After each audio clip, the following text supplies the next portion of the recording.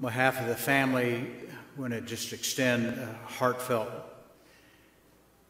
gesture of gratitude for everybody's love and support that they've just poured out uh, to the family during this time. We're here today to, to remember, to honor, knowing Trevor a little bit, probably some laughter as we remember his life. Trevor Joshua Gutierrez, age 28 of Conyers, passed on Tuesday, the March, sec- March the 2nd of 2021. He is survived by his wife, Carly Gutierrez, and son, Carson.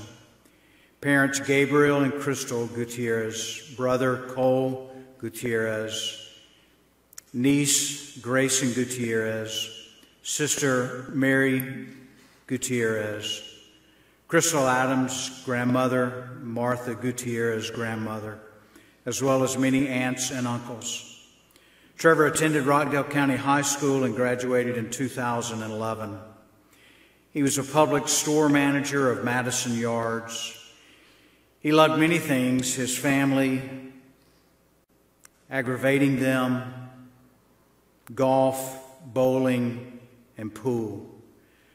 Trevor was big and lived big, and he loved big. I think it's evidence that he loved big by the show of support here and yesterday. Would you pray with me as we enter into this time? Father, we thank you so much for your goodness and grace. God, you are good, you're gracious, you're merciful, you're loving. God, we thank you that, Lord, those things we saw exhibited in Trevor's life, God, your attributes as he knew you and the Spirit of God dwelt in him. Father, we pray today that, God, you would be honored as we remember one of your sons. God, we bless you, we honor you, we magnify you. Holy Spirit, we pray you continue to comfort this family, God, this church body, his co workers, Lord, all of those, his friends that loved him and knew him so well. Father, we ask these things in Christ's name. Amen.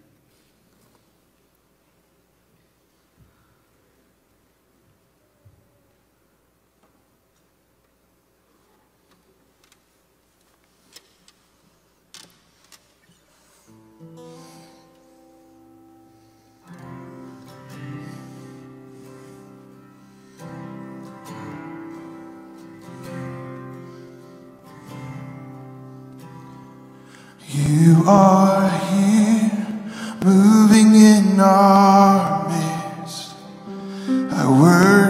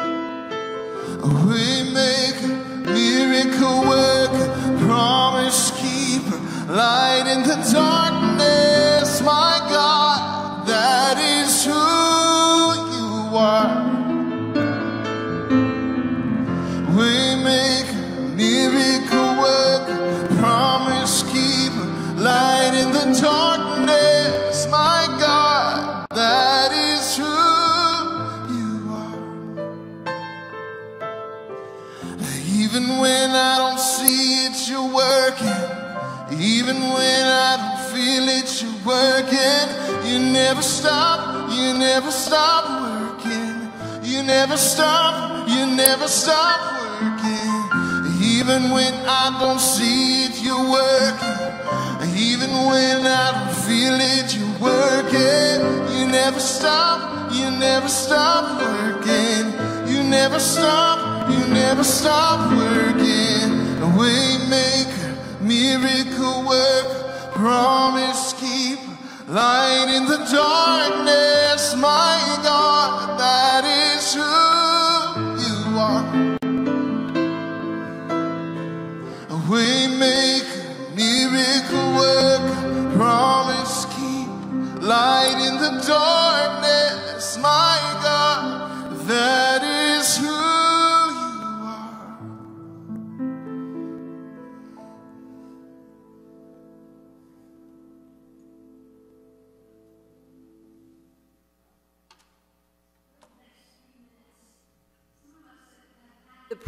privilege of being a part of Trevor's life at different age times when he was here at First Conyers are going to speak about some of those things that we saw in Trevor and some of those experiences we had with Trevor.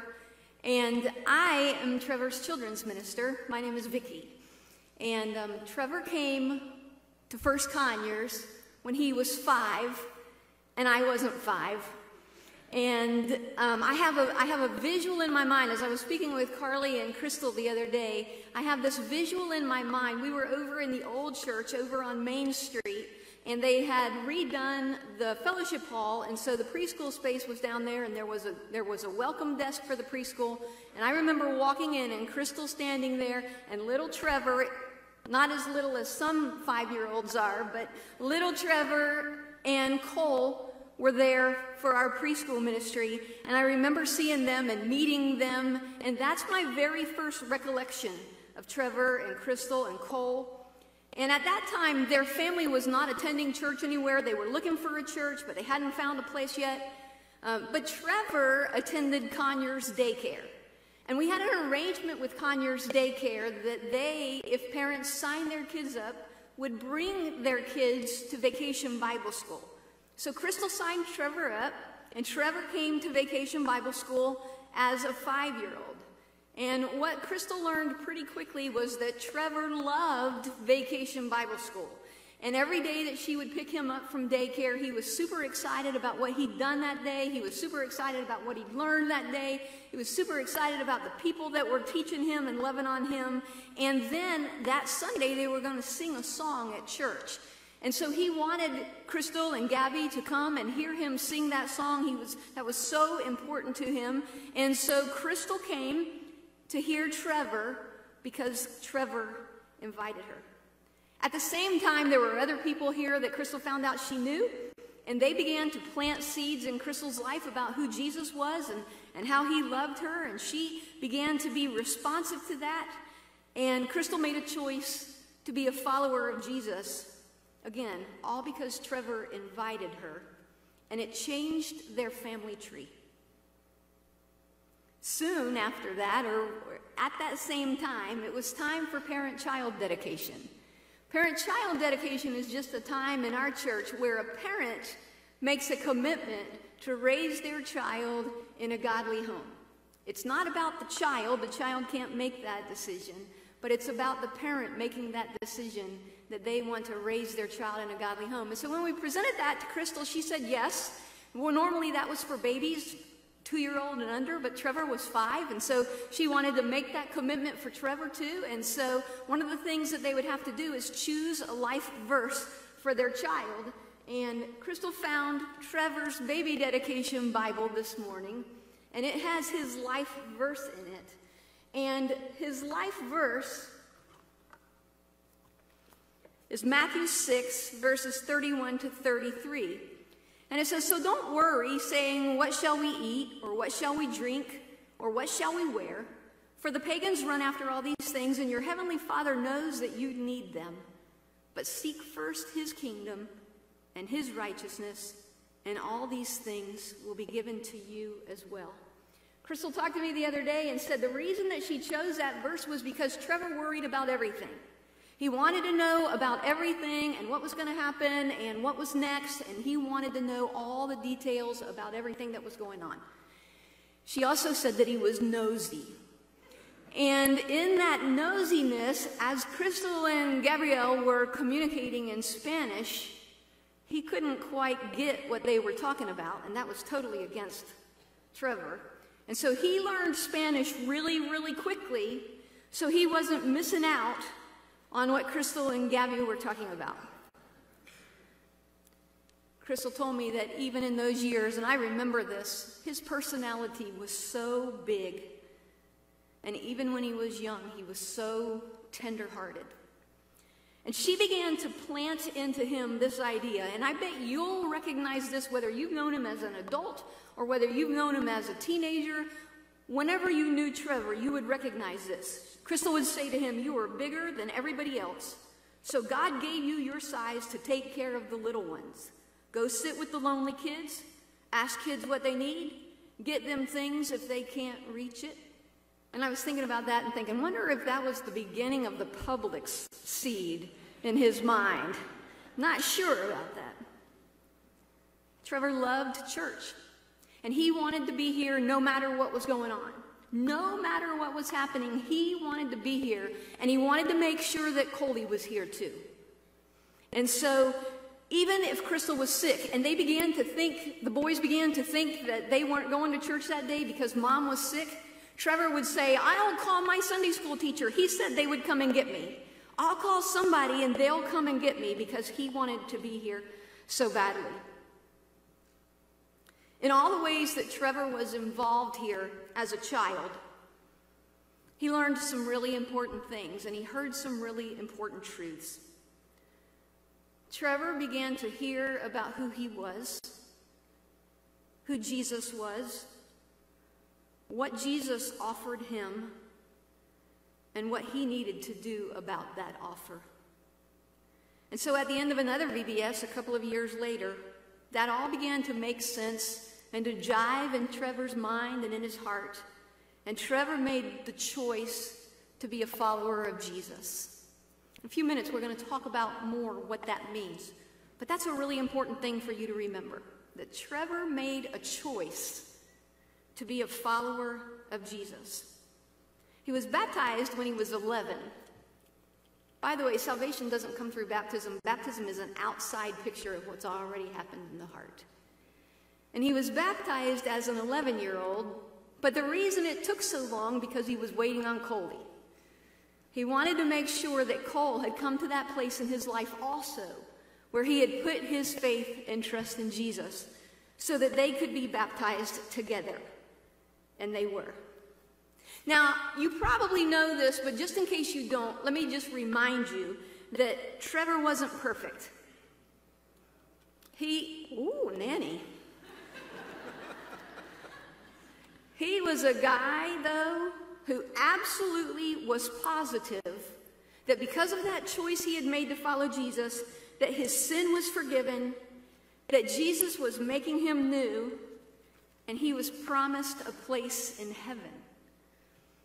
I could tell you some stories about that imperfection, but I'm not going to do that. I'm going to just honor him. But Trevor knew, though, that even in that, his sins were forgiven, Jesus was making him new, and he had a place secured for him in heaven.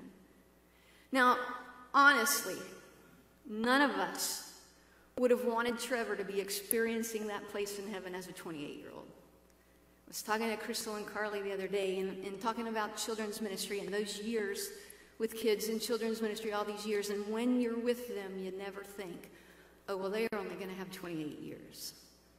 We're only, they're going to only have 17 years. You don't think that. You just think they'll be old, they'll grow old. And so we would have never wanted Trevor to be gone now. But remember, Trevor knew that his sins were forgiven. He knew that Jesus was making him new, and he knew he had a place secured in heaven. So, because of that, we don't grieve here today as those who have no hope because we're full of hope. Because Trevor knew for sure that he was going to heaven when he died. But he wouldn't want it to stop there. He would want you to know that for sure, too.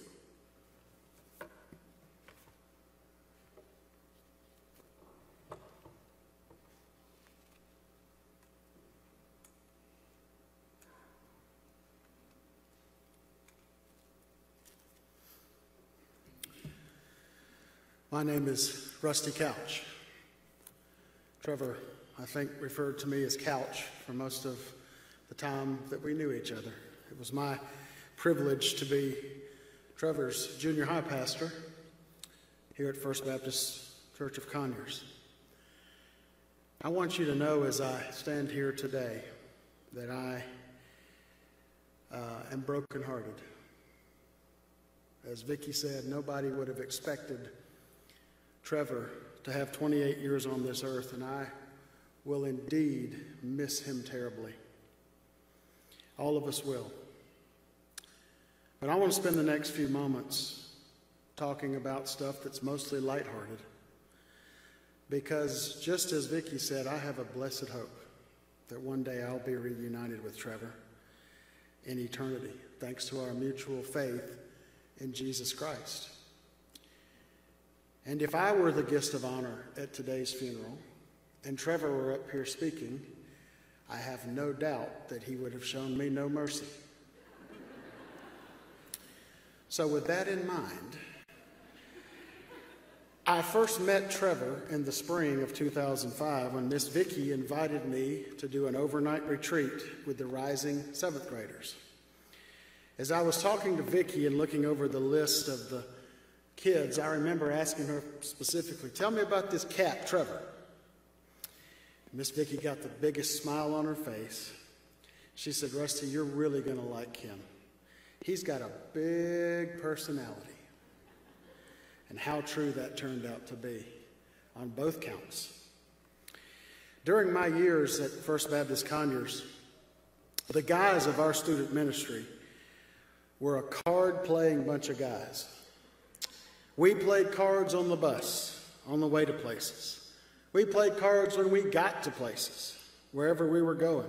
We played cards on mission trips, summer camps, winter camps, choir tours, everywhere and anywhere.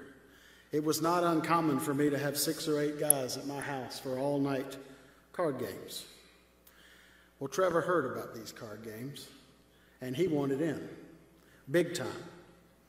And from the day he got into junior high ministry, he began to bug me. Couch, teach me to play spades. Now, I would admit this trepidatiously, but uh, of course, being a pastor, I'm not the most patient teacher in the world. And, and I really don't particularly enjoy teaching people to play games, so I began to put off Trevor. But he was so persistent, and finally, after about three months, I made a deal with him. I said, Trevor, if you will stop asking me to teach you to play spades, I promise you this year at winter camp, I will teach you to play spades. And he agreed. Well, a few weeks later, on the day that we were to leave for camp, he arrived with a very sullen look on his face. Apparently, he had gotten into some trouble on the way to church. Crystal came to me and said, We almost turned around. But uh, I'm not sure Trevor's going to be getting on the bus today to go to camp. I said, Oh, come on, Crystal. She goes, Well, he just, he needs to be punished. I said, Well, if you'll let him on the bus, I'll beat him like a yard dog when we get to camp, and I'll be really mean to him for a couple of days. That ought to be punishment enough, right? Well, uh, Crystal rolled her eyes, and thankfully she relented. When we got on the bus, as soon as the door closed, Trevor came right back to my seat. He goes, That was close, couch. I almost didn't get to learn to play spades. I said, Buddy, you realize that we are going to, to camp to do more than play spades, right? Oh, oh yeah, yeah, yeah. We're going to learn about God and all, but I want to learn to play spades. Can we start now? Well, he was a quick study. In fact, two or three days into the camp, Trevor knew most there was to know about spades, and he wanted, Pastor, he wanted to know all the nuances. You know, how to do nil and blind nil and 10 for 200 and all these things. And so one day uh, at the camp, uh, myself and Rich Bowie and Rick Dupree uh, were enjoying, uh, and there must have been somebody else there too, because you had to have four, but we were enjoying an adult game of spades on the other side of the camp. And was were probably two or three football fields difference between where we were and where Trevor was. And we were in the upstairs of this, we used to stay at some of the shankiest places because they were cheap, right? And uh, this whole building would shake uh, when a small person would walk up the stairs, okay? Well, here's, you know, 6'3, 230 pound, you know, seventh grade Trevor Gutierrez. And all of a sudden, the, the building began to shake, and I heard this boom, boom, boom, boom, boom, boom, boom, boom, boom, boom, boom.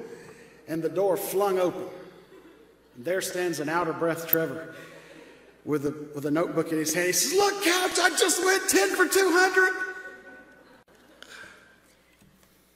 I said, That's great, buddy. And he turned around to walk out, and I'll never forget Holly Rich looked at me and said, I hope he doesn't go home and tell his parents that's all he learned to do on this trip. But you know, as I've reflected on Trevor's life these past few days, I'm drawn to a cliche of sorts live, laugh, and love. Now, somebody goes and grabs a piece of wood off a scrap heap and paints those three words on it and takes it to Hobby Lobby, they'll sell it to you for $40, right? But Trevor did all of those in overdrive. Go big or go home. I must have heard him say it hundreds of times. Trevor truly knew the ins and outs of living, of laughing, and loving. He squeezed more out of 28 years of life than many people do in seven or eight decades. Trevor never hesitated to upsize his combo. He always ordered his Zaxby's wings extra wet with at least two and sometimes three extra ranch dressings. Trevor was a man after my own heart. One time at Red Lobster, it must have been a Monday, a shrimp Monday, uh, when Trevor finished eating his shrimp scampi, and I knew then that Trevor and I were just literally blood brothers. When he finished his shrimp scampi, he dumped the remaining butter onto his mashed potatoes and broccoli. He drove nice cars and he took care of his stuff.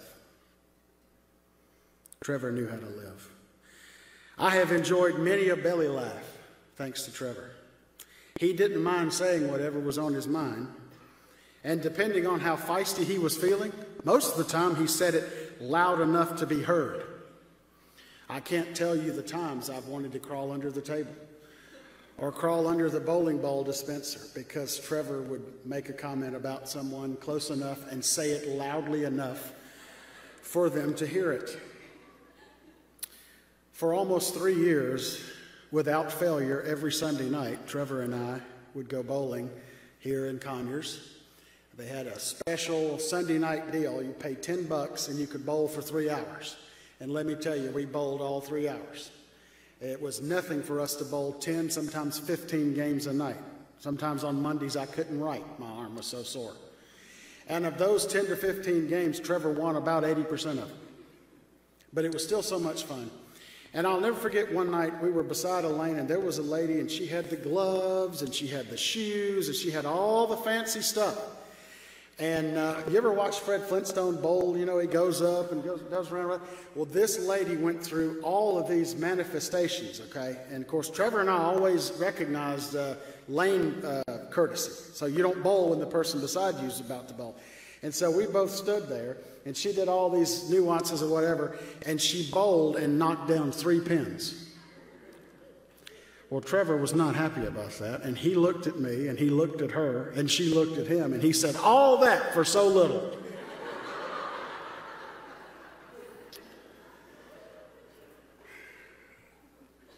At uh, the final premarital counseling session that uh, Trevor and Carly and I had, we decided to go out and celebrate. And again, it must have been a Monday night because guess where we went? No more calls. We have a winner. And we must have had a rookie waiter, and he was struggling badly.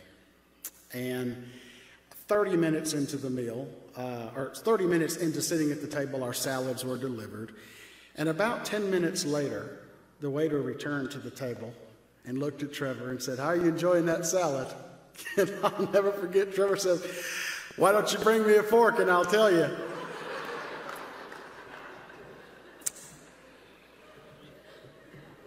Trevor knew how to laugh, Trevor knew how to live, and Trevor knew how to love. I am honored to count myself among the people who were loved by Trevor. He was a genuinely caring person. Now, this COVID pandemic has caused a lot of inconveniences, not the least of which has uh, it has caused a shortage in my recreational drug of choice, caffeine-free Coke Zero. I found a, a 12-pack the other night on Amazon for $63. I'm not that desperate yet. But on the morning of January the 30th, I got desperate enough to send a text to Trevor. I said, Look, do you have any of these sitting in the back of a stock room somewhere? What, you know, I, have got to have this. And Trevor said, Oh, hey, Couch, what's up? I said, Well, I'm doing okay. I've had some major life changes lately, but tell me about this Coke Zero. And he wrote back, he goes, Life changes. Hmm, okay. And it was obvious that we weren't going to get past that. And so I shared a little bit about what was going on. He goes, dude, we need to get together. I said, all right, let's do it. He said, how about tonight? I said, okay. And in about 10 minutes, he had arranged with Carly, and uh, we had dinner on the night of January the 30th, Saturday, January the 30th, here in Conyers at Longhorn Steakhouse. And one of the things that I loved the most about Trevor was how much he loved his family. Cole, I know stuff about you that you have no idea I know.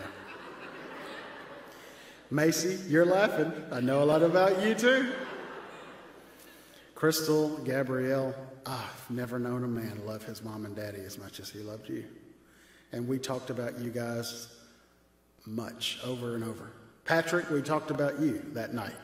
I asked Carly, I said, How's your brother doing? I've forgotten his name, but we had a great time at your rehearsal dinner.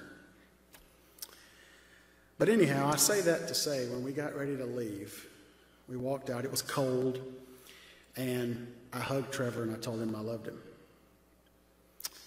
And it's for that reason that I have no regrets because last Sunday evening, Trevor and I had a dinner date. And I got busy in my yard. And about 5 4.30 or so, Trevor texted me and said, Couch, are we eating tonight? And I said, Oh man, I, am sorry, I've got busy in my. Y'all probably looked at the message. You know I didn't say, Oh man, but nevertheless, that's neither here nor there. And I said, I'm so sorry. He said, That's okay. We'll, hook, we'll link up again soon. Now, I wish, like anything, of course, I had went to dinner with Trevor.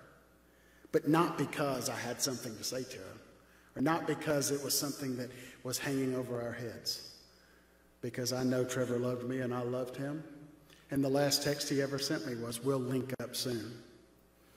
And, buddy, I know that uh, I'm not sure about the theology of the great cloud of witnesses, but if you are in the great cloud of witnesses right now and you're watching, you better believe we'll link up soon. And you better save me a place at the heavenly card table. Seals and Crofts had a hit song in 1973 entitled We May Never Pass This Way. Trevor was one of a kind. There will never be another Trevor. We may never pass this way again, but he leaves a huge impact on this world, and all of us could probably be better off if we were more like him. So upsize your combo more often. Dump your scampi butter onto your baked potato. Laugh at somebody who needs laughing at and say, I love you more often. Live, laugh, and love.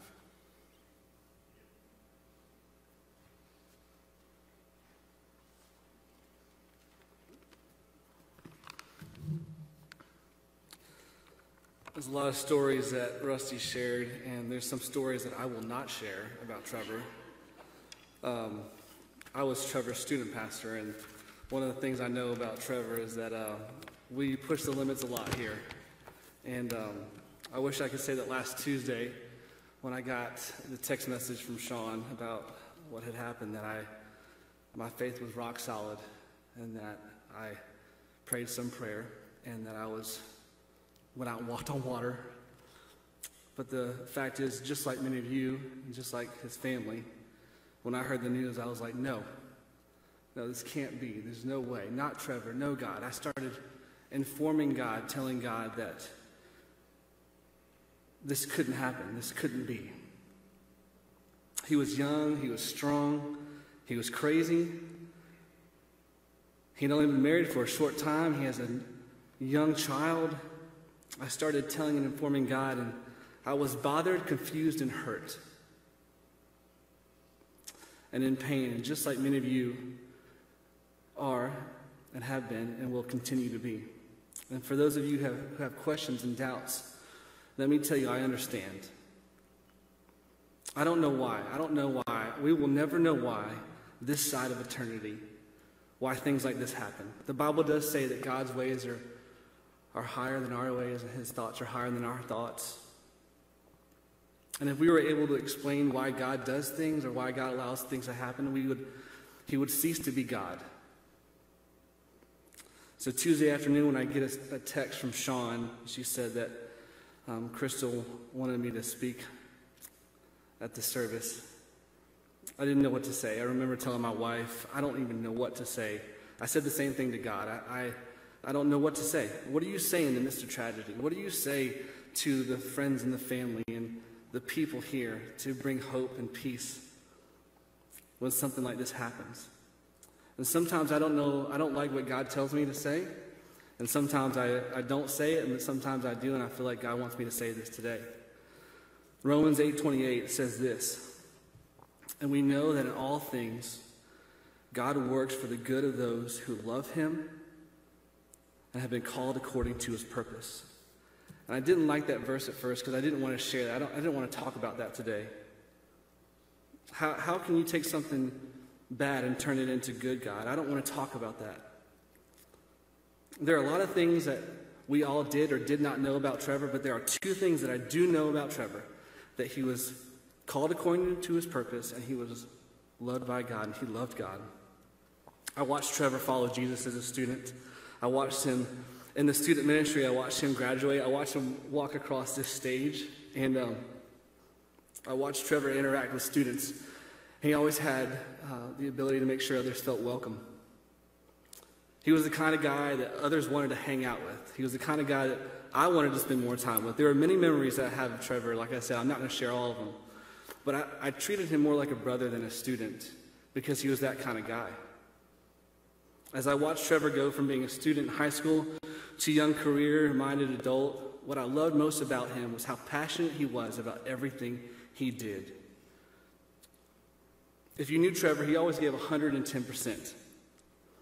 Whether it was kicking butt in basketball, whether it was playing ultimate frisbee or just hanging out with students or starting his career at Publix and then starting a family, he always gave it all. He always gave it all. His passion was so attractive that it didn't matter what your background was or what your aspirations were to be or what you, your plan was. That when he talked about certain things, I, I remember um, Trevor talking, I got to be a part of Trevor's life when he first started his career at Publix. And I remember him talking about, about Publix. And uh, on one of the many trips he took, we took with the student ministry, I remember him, um, he spent the whole entire bus ride telling all the students where everything was at Publix. So they'd ask me, what aisle is this on? Well, it's on this aisle. And I also remember how, with no reservation, he would talk to anybody. And uh, he put others first. And he was always willing to help me no matter what I needed. I remember on that same bus ride, um, this is where I treated him a little bit more like a, a brother. He had to go to the bathroom so bad, and we were so close. And I was, I had to make a time had to make it in time back to the church. And I said, The next exit, I promise we'll stop. And then we passed the next exit. He ran up to the front of the bus. He was like, I gotta go, I gotta go. I'm like, the next exit. And we passed the next exit. And I remember when we finally got to the church, I kind of felt bad. But he ran in here, went to the restroom, came back, and he was ready to beat me up. But, oh. And I remember another trip where we went on a, a camping trip, and I gave him a backpack to take, and I, I, thought that maybe he would pack some things that a camping trip would need, like, you know, um, maybe some lighters or some fire, you know, matches or things like that. He packed all clothes. The only thing he packed was clothes. I think two or three outfits for every single day we were going to be camping. Where all the other students, all the other guys, um, I think took one pair of clothes, and they were, it was on their body. It got me thinking about how Trevor was with all the, all the students, all the people he was around, and it got me thinking about 2,000 years ago. Jesus stepped into our world, into a much more barbaric and more, much more harsh world than, than we know today. And Jesus began to say things and do things and stand up for those who the world threw away. He gave value to the invaluable and would talk to the outcast, just like Trevor would do. Jesus was so life changing, he was so passionate about everything he believed. He was the King of Kings, that he was able to get a group of men to come alongside him and follow him. And I think about Trevor, how passionate he was about everything he did. And I look out and I see all the people here. And I never would have thought that that 17 year old, 18 year old boy would have such an impact on the people that he has in the short time he's been here. And I thought about the disciples. They spent their whole lives, they were committed to Jesus, they were committed to following him, they spent every moment with him. And just when they thought their journey was beginning, just when they thought their journey was beginning, one of the most tragic things happened to Jesus. Friday happened. And Friday represents how fragile life is. The disciples saw Jesus overcome many obstacles and perform incredible miracles. And then on that Friday, he was hung on the cross. Their faith on that Friday was fragile. Everything seemed to fall apart. None of us a week ago planned to be here today. None of us planned on having to deal with a tragedy like this. And some of you, like me, might be stuck in Friday. like the disciples were asking God, why would you let something like this happen? Why would you let the cross take place? Or how could you let someone we love so much go through such a horrible, tragic thing and wind up on the cross? And I'm going to tell you this everybody, everybody has questions on Friday. Everybody has questions on Friday. And they thought to themselves, how can we get through this? And then Saturday comes, and Saturday in the gospel story, we don't it's not a lot of talk talked about on Saturday, but I do know this. On Saturday, it seemed like the, the, from the world's point of view, that God was silent, that he was quiet. And it was, it was as if God didn't say anything on that Saturday. And so, for so many of us, we might be in that Saturday stage. And we feel like we're alone or lost because someone we love is not here. But I want to tell you this just because God is silent does not mean he's absent. And there might be days where we feel like God is silent, but he is not absent. And there will be days where we feel that way. But the cross is proof that when we think God has lost control, he is still in control. For many of us, after we leave here today, our lives might be get back to somewhat of a normalcy, or maybe it'll never be normal again. We might feel like God is silent, but he is there. And so we have the, fragile, the fragility of Friday and the silence of Saturday. But what makes Christianity so incredible is that we have the celebration of Sunday. At the tomb of Jesus, there's a sign that says, He is not here, He is risen. And because of the cross, and because of the love and the sacrifice Jesus made for us, and you'll hear more about that later, that He paid the price so that you and I could be reconciled to Christ, to God through Christ. And what made Trevor's life so special is that he had a relationship with Jesus. And he changed his life And somehow he's going to turn this tragedy into a celebration. And as painful as the cross is, and as painful as it was, and as painful as this is, the cross always ends in celebration. Because Tr- Trevor trusted Jesus, I know that when Trevor took his last breath here, he took his first breath with Jesus and he saw his face. He's celebrating with Jesus today. I don't know why God chose to take him. Maybe he needed someone to run heaven's Publix branch. Um, maybe God just wanted him to hang out with. And some of us might be tempted to say to the family, God will never give you more than you can handle. But I don't, I don't believe that's true. I, I believe that God wants you to depend on Him and to lean into Him. And maybe for some of us, we're on that fence and we're trying to make decisions or we're not sure about who God is. And, but I believe He wants us to lean in.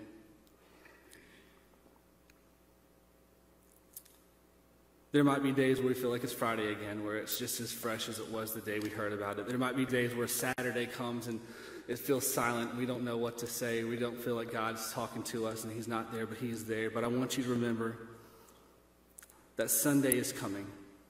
The celebration of life is coming. And from God's and Trevor's point of view today, this is not a funeral, it's a celebration of life, of a person's life who, quite frankly, is more alive than all of us in this room is today.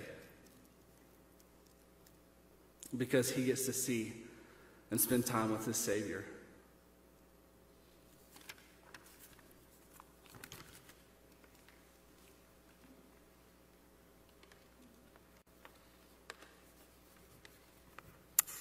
Thanks again for being here today to celebrate and remember Trevor's life and the impact that he's had on each and every one of us all in different and unique ways.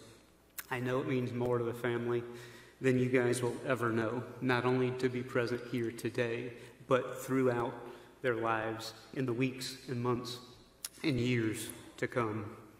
This is one of those things you never want to do, but you have to do, and I'm honored to be part of it. If you don't know me, not that it matters, but I'm Jeff Riley, and I'm the small groups and um, young adults pastor here at First Conyers. Um, I've been around Trevor and his family for many, many years here at First Conyers, and I really got to start knowing Trevor um, when I was the game guy in Awana, and he would come on Wednesday nights, and if you know Trevor, he loved games. He and Emily Ammons had a great rivalry going on in those days, um, but there's nothing quite like watching somebody compete and seeing how they win and how they lose to really get to know somebody. And that's exactly what I got to do while Trevor was in there um, at game time. Um, Trevor wasn't going to win any races, if he was in a game, he was in it to win it. He was going to give it his all. And I have to tell you the truth. He was a terrible winner and even a worse loser. But he was a master smack talker. Can I get a witness? Yeah, yeah. So before the game and during the game and after the game, he would dish it out. If he lost, he had an excuse. And if he won, you would never, ever forget it. So it was no surprise to me that I, as I got reacquainted with him again in these recent years, that that about him hadn't changed even a little bit. Trevor and Carly started coming to um, the young married small group, and Trevor could normally be here on Sunday mornings because he usually had to work on Sundays. But who knows that if there was a party going on, Trevor was going to do everything he could to make sure he was there. So they started coming and joining our uh, young married gatherings on other nights of the week, Fridays or Saturdays, if he did not have to work. Um, and two of his passions came together food and competition. That, that was his stuff right there. Um, And, and so, whatever game was being played, man, like I said before, he was in it to win it. Um, he was never going to let you beat him, and he was going to trash talk you the whole time. And it didn't matter if it was a board game, it didn't matter if it was cornhole, it didn't matter if it was ping pong. He, even the white elephant gift exchange, okay? That's what I'm talking about. Trevor was competing. You know this Trevor, right? Yeah.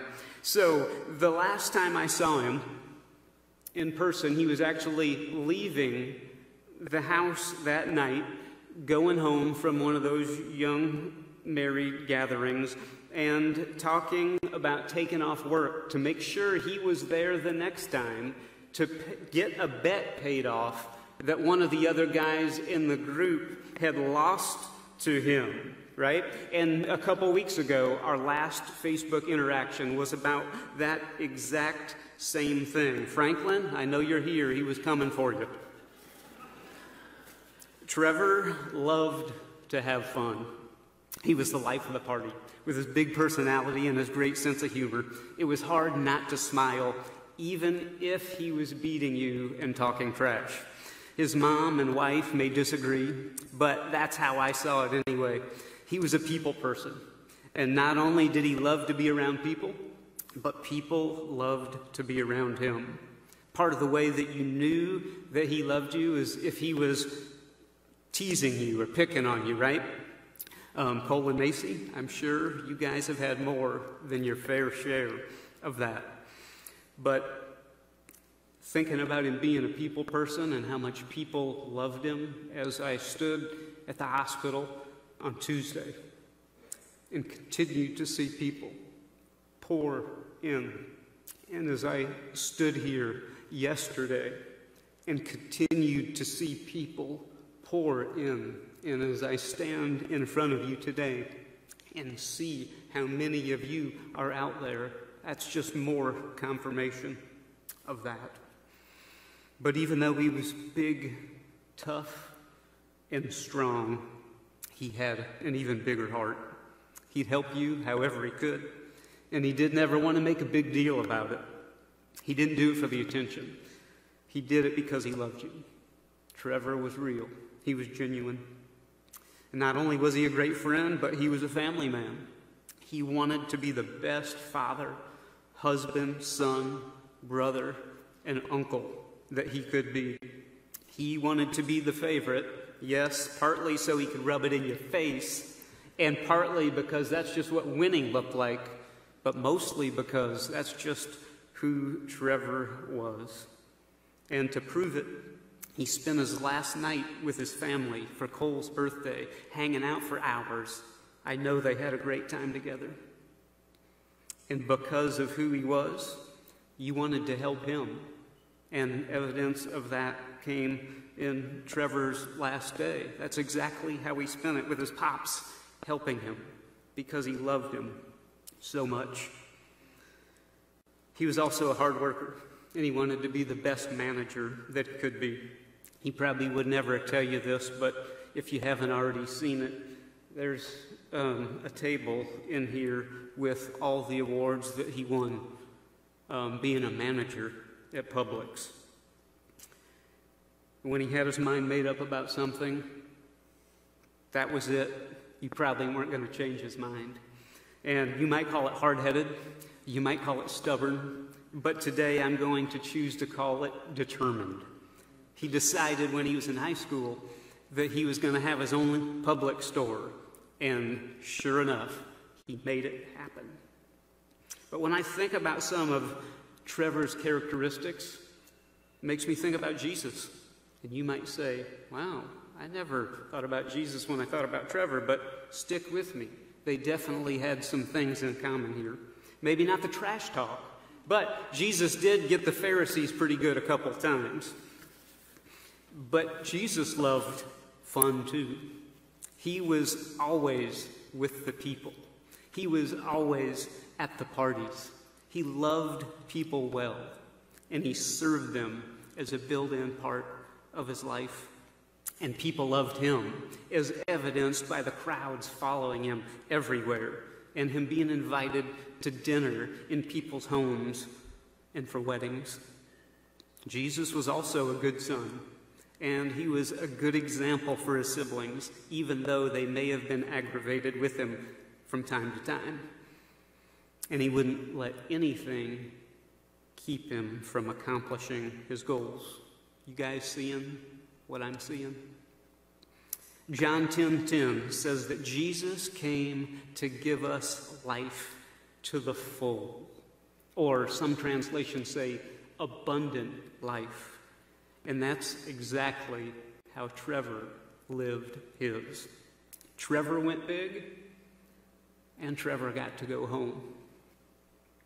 We could learn some things from that, I think. When things like this happen, we don't understand, we ask questions, most of which we don't get answers for, but we can be certain of this that God can and will bring good from this tragedy.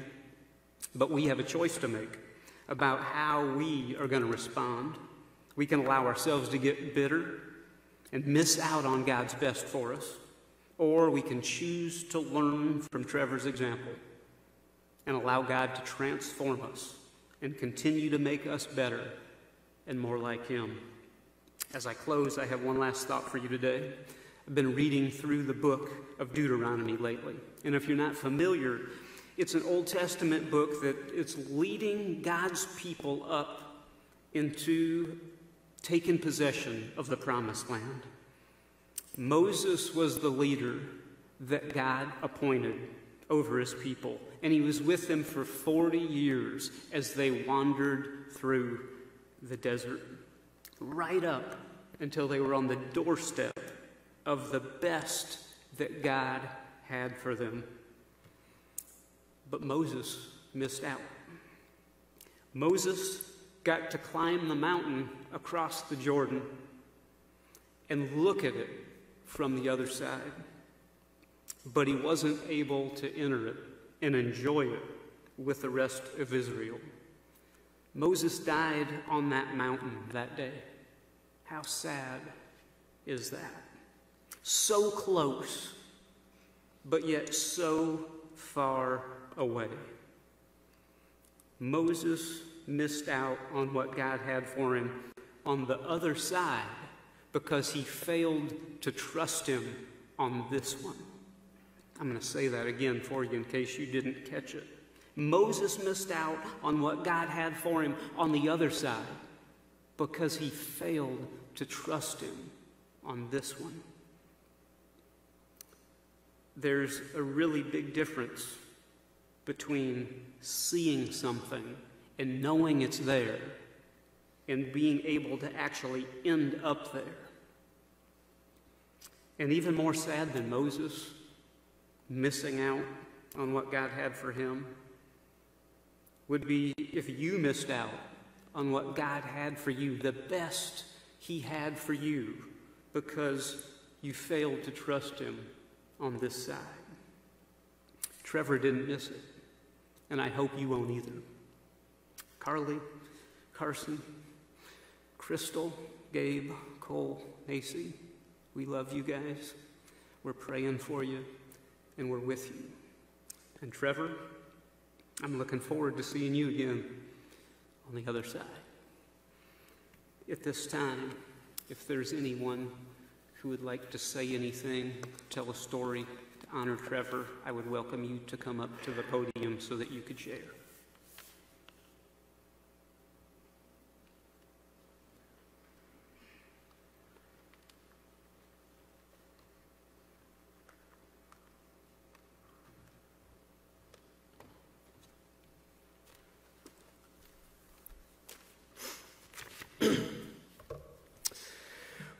Where do I even start?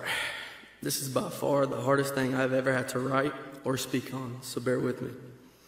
My name is Jeremy, but a lot of you know me as Wormy. I met Trevor for the first time when we were sixth grade at Conyers Middle School, and we have been boys ever since. He was my dog. Every time we talked on the phone, it was Big Dog, What are we getting into today? Or big dog, we should do this. He was full of life and energy. There was never a dull moment around him or having a bad day. He would say something that would just turn your day around. He was the guy in our friends group that I always looked up to. He was the first one to get his license, first one to get a job. He just seemed to always have it figured out. From ninth grade, he knew he wanted to work at Publix and grow within the company.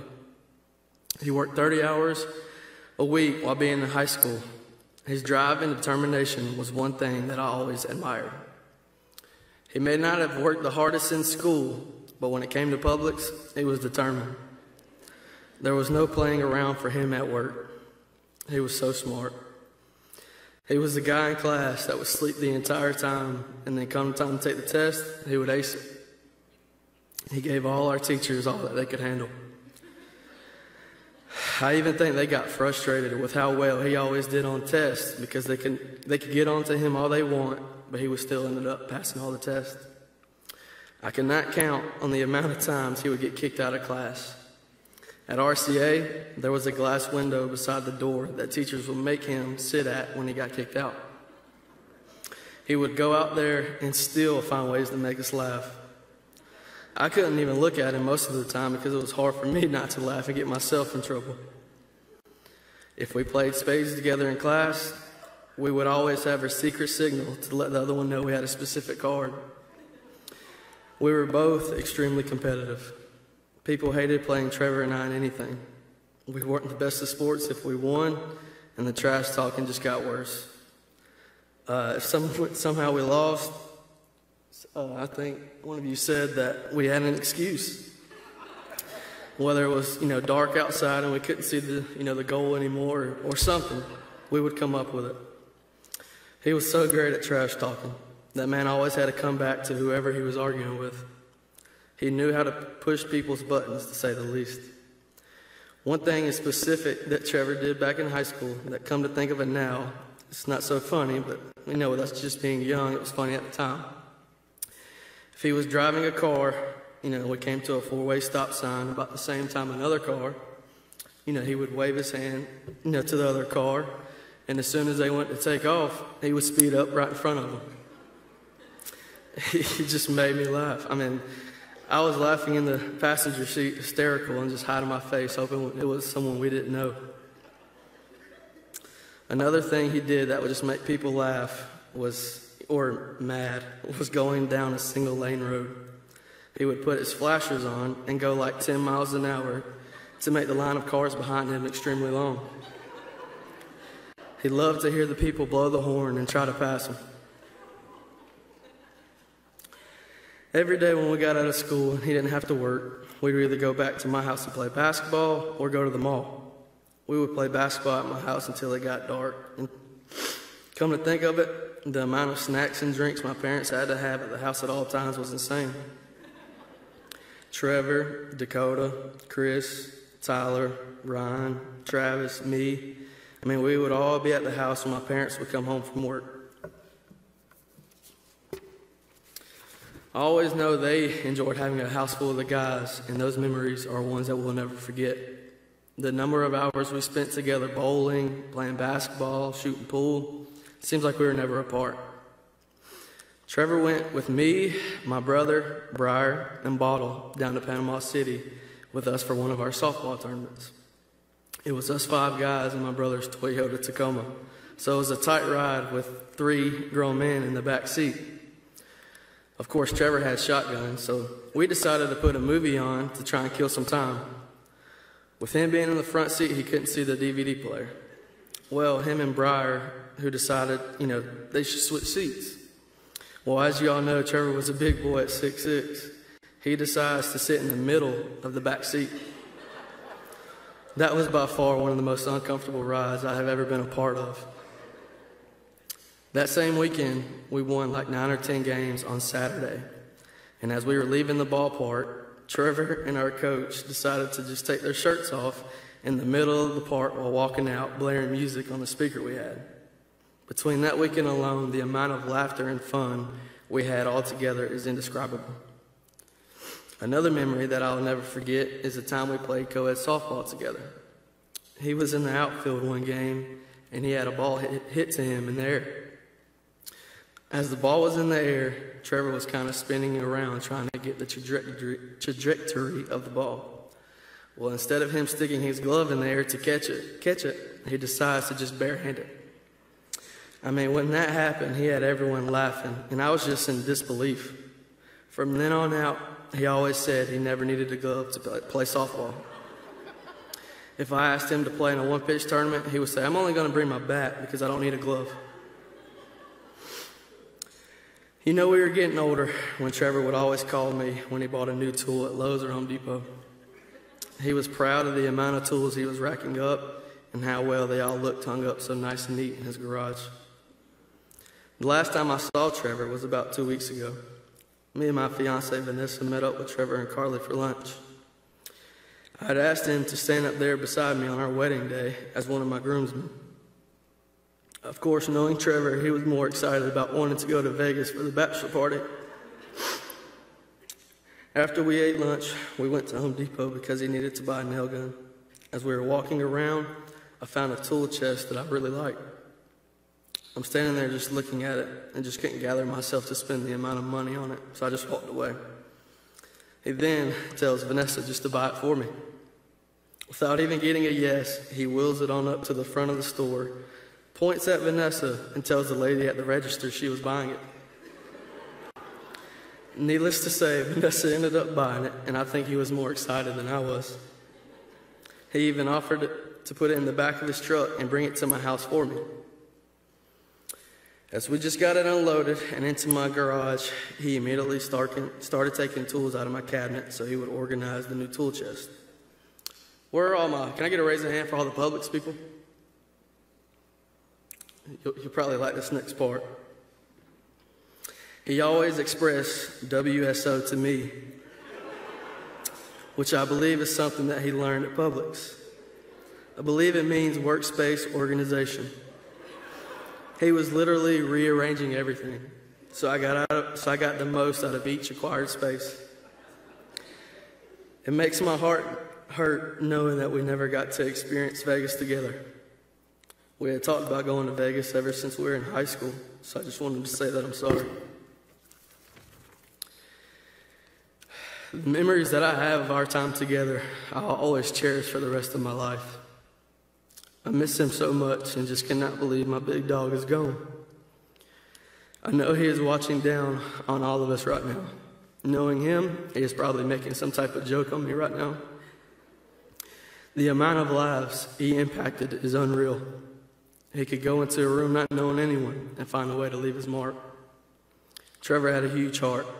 If my dad were sick, he would constantly call me to check on him to see how he was doing. He would come visit him if he was in the hospital. He just always asked how family and friends were doing and if there was anything he could do to help. One thing I always loved about Trevor was how much he loved his family. The bond between him and his brother Cole just remind me so much of me and my brother Craig. His love for his mother Crystal, his father Gabby, Nanny, his baby sister Macy, his wife Carly, and his beautiful son Carson was unmatched. That young boy is a spitting image of Trevor. Cole, I hope you know that Trevor was extremely proud of you. Anytime he got promoted, he would call me to let me know and love tell me things about you in general. Macy, he was so proud of you as well. He always told me how smart you were and how well you were always doing in school. He was always worried about you having a boyfriend. Gabby, Crystal, Nanny, the job you did in raising Trevor just speaks volume on the type of people you all are. Gabby, he knew how to fix anything because of you. He always loved working on projects with you. Carly, the amount of love Trevor had for you and Carson is unimaginable. I hope you all know that I'm always here for all of you. I love you all and consider you all family. Until next time, Big Trev.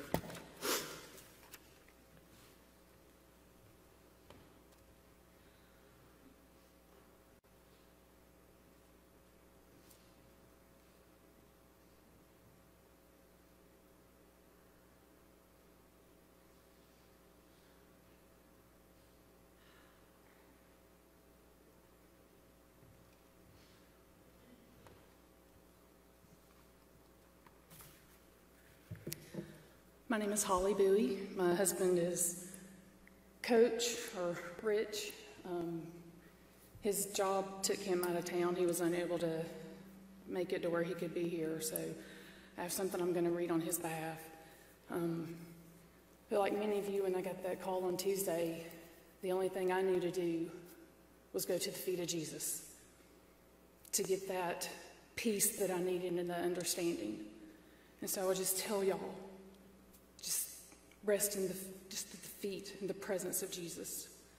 Um, my husband and I served in youth ministry here at First Conyers for 17 years. So there were many, as you can imagine, that have come through this program. Some of them sitting here today that are adults now, which is crazy because still I'm only 29, right, Craig? Um, but Trevor was special. He was one that we knew from the beginning, and we knew of him even before he got to youth ministry. We were aware of Trevor, the ones coming up, right? Um, but there was something special about him, and the one thing was the Publix family. Like, I know y'all know this, but he loved that job. His aspirations, everybody here that knew him knew he was going to have his own store one day. We did um, Dave Ramsey financial piece, and he was in my small group when we did that. And you know that deep voice, Miss Holly, how he just would say it. He showed me like how he was going to make money and how this is him as 18, right? He was a senior. I was trying to remember how old he was. Um, an 18 year old. Here's, here's how I'm going to make a million dollars, and I'm going to do it. He had a plan for his life. He was always that way. He's left a huge void with all of us. Um, but he did. He lived big, he loved big. He was very proud of his family. I know one thing was, I think it was two years ago now, now COVID time, you know, we're all disoriented, but when we played ball together. And I was excited that I was on his team, like, yes, okay, good, yes. You know, I'm a little competitive myself, you know, but um, watching him as a man, because just seeing him in the different phases of his life, but then watching him as a man and how he was to you, playing and protective in who he was. Um, it was an honor. My husband, yesterday, when he was leaving to go back out of town, hugged me and said, Be strong. So I'm going to do my best to, to get through this. Um, he titled it The First. Trevor was the first of three children for Christian Gabriel. My prayers for all of you at this time is for his friends, family, Carly and Carson, is to be drawn closer to God. The first time I realized that Trevor was different and special was on a church trip. While the older kids were saying what they wanted to do or be when they grow up, Trevor stated with confidence that he wanted to be a Publix store manager. Now, understand me, he was only in the ninth or 10th grade when he was saying this. We used to ask him, which y'all have heard this before, but we used to ask him where certain items were located inside the Publix store as a game. Like, where are the green beans? He would say the aisle number, which side, how far down, and on which shelf. Knew exactly. And again, with confidence. He was serious about his future. Trevor was the first to protect the underdog person. I saw many kids at first be afraid of Trevor, but it wouldn't take long before they realized that Trevor was their friend and protector. There are many more firsts for me with Trevor. At the end of the basketball season, I took the team to Cici's Pizza to reward them for all their hard work. The manager cut me a deal if they brought in two cans of food, he would drop the price for me because he wanted to support the church and what we were doing with these kids an all you can eat pizza party with 10 teenage boys. Can you imagine? Full disclosure, my favorite four words all you can eat. The guys came up with a competition of who could eat the most pizza. Trevor would leave the crust, the pizza bone, so he could keep a better count of the slices and show how many he had eaten, which was more than 20 slices. Several other kids were tapping out after 15 slices. Oh, yeah, he still had room for ice cream cups and ice cream sandwiches, plural. The restaurant never knew what hit them that day. Because Trevor usually acted up on Wednesday night, Rusty would ask Trevor to start us off with a little prayer. This one is an attempt to get Trevor settled down and start the night. Trevor always had a meaningful prayer for the group and for others. His prayers were different than most seventh and eighth graders, while also being and doing this in front of high school seniors. He showed again that he was different and special. Trevor was the, Trevor was the first kid to bug adults, so true, about changing a planned schedule of events. Sometimes his suggestions were taken and things turned out better for the group. He was always thinking ahead and planning. Trevor was the first kid to go down to the gym after Wednesday night church, moving people, chairs, tables, and basketball goals to get ready for practice. I wouldn't let him in the storage closet to get basketballs until the gym was cleared out. He was always the first one clearing out, and then the first one right behind me as I opened up the storage room to be the first one to get a ball. He would take it and throw it a long shot to the hoop. Then he would find his favorite ball and run to the under end of the court. Trevor was the first and only kid that I carried out of the gym with a twisted ankle to his mother's waiting car. Trevor was the first person I called Big Ugly. Everybody knew, remember that? Everybody knew who I was talking about when I said this. It was a name that stuck and was a special name between me and him. His brother Cole came into the youth group and started filling Trevor's shoes at church, saying prayers, getting in trouble, all that. Later, soft spoken, quiet, shy Macy came into the youth group. But when the music starts, she transforms. Two more good kids that Crystal and Gabe brought to the church. I would see Trevor at big church. That's what we call, y'all, yeah, 11 o'clock, big church. I would see Trevor at big church, sitting with his grandmother and family, and after church, I would walk up and ask him how things were going. He would tell me of his last promotion, what he was trying for the next inside the Publix master plan, always looking for the store manager position. I remember seeing Trevor in the church parking lot getting out of his gray car, tucking in his shirt, fixing his tie, and then reaching in the back seat and pulling out a diaper bag. I walked over and he said, This is my wife, Carly. She and I started small talk, mostly about Big Ugly. Sorry. Uh, I never liked that name, just so y'all know, but they loved it. Um, and the things we have done in the past here at the church. Trevor leaned over into the car and pulled out a baby car seat wrapped in a bundle of blankets and uncovered a small, cute little sleeping face of a baby boy. Both mom and dad were glowing, smiling ear to ear. I could see in their eyes that this child was very much loved. I could see in Trevor's eyes he really loved Carly and Carson. We talked that morning in the parking lot about his next plan to buy a house. We walked into church like so many times before. I went to the youth area, he went to the nursery. That's the last time we talked. I wish I had another first. Trevor was a first at many things in my life. I hope and pray that you know that the Bowies loved you. Many of the people here know that you were one of a kind, the kind of person people really wanted to be around. And he had this thing that he would tell, and if any of y'all had him in basketball, you know what I'm about to say. Hit my white square, Coach Rich.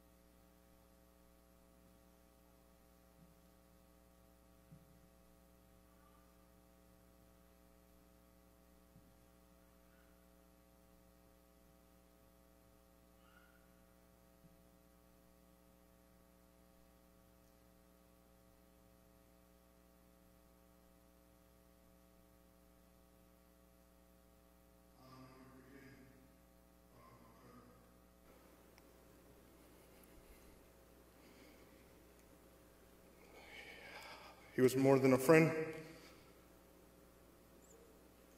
That was my brother. For those who doesn't know me, I'm TJ. I was Cole's best friend um, throughout school.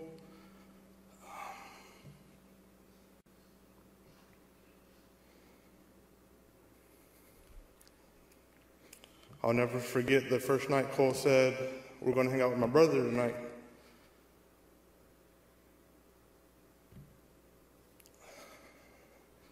And I knew that first night that Trevor was meant to be in my life. When I met Trevor, I was a boy. I didn't know anything. I was working part time. And Trevor said, Why don't you come work for Publix? And for those who doesn't know, Publix is more than a job to us.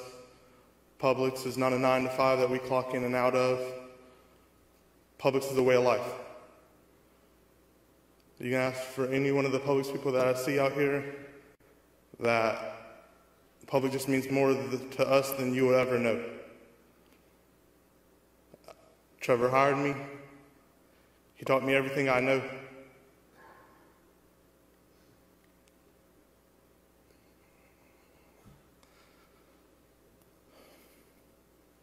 I owe Trevor a debt that I'll never be able to pay. Carly, I love you. I know how much Trevor loved you. I just hope one day that's something I get to have. I get to look at a wife the way he looked at you.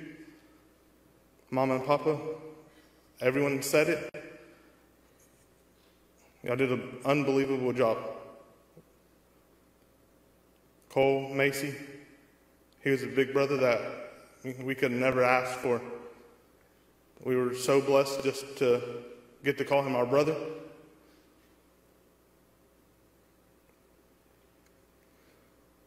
I mean, you look to your left, you look to your right, and the, all the people that Trevor has just touched. I mean, I think we all have to be envy of that. I mean, Trevor has.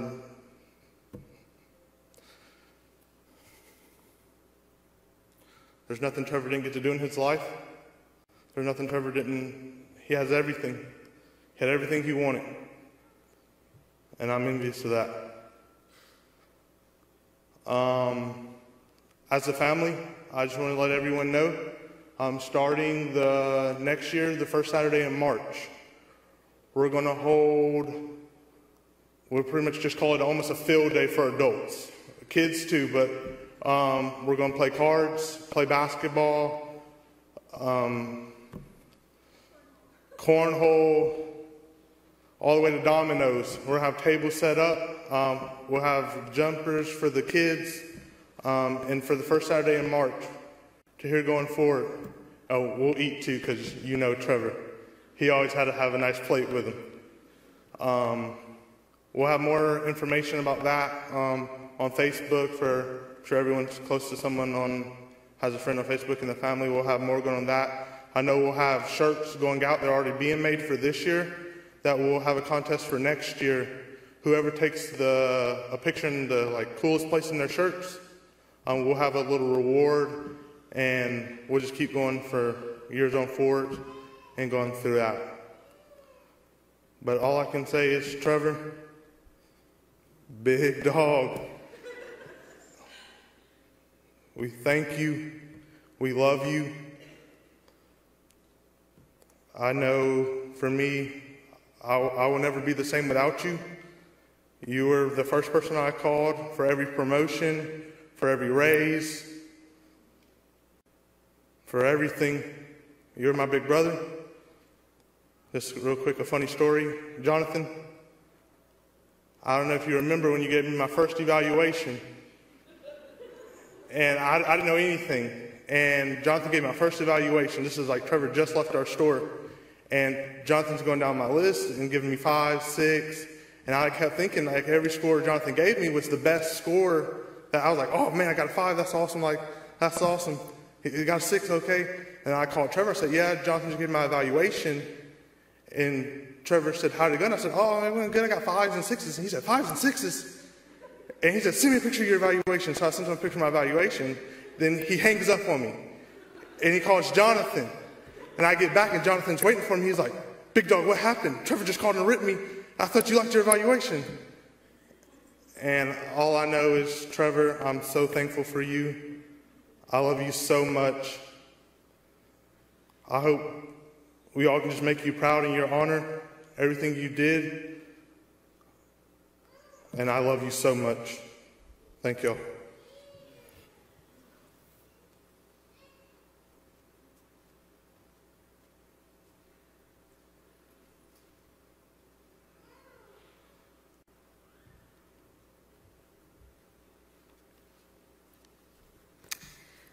Um, for those of you that don't know me, my name is Macy Gutierrez, and I am Trevor's sister.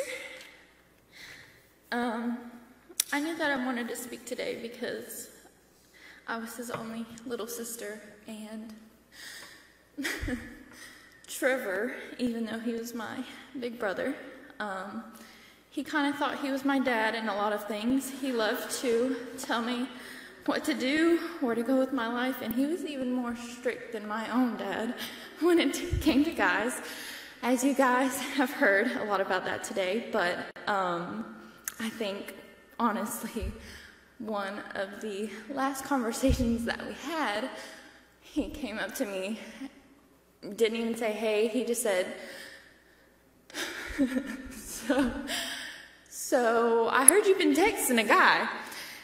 And I go, yeah, for homework. And the first thing he would always say, they know I have a gun, right? They know that I'm six six and that I will, and he just started making all these threats. And that's one of the things I loved about him, even though I just hated it. I couldn't talk about that. But um, that is the big brother that he was to me.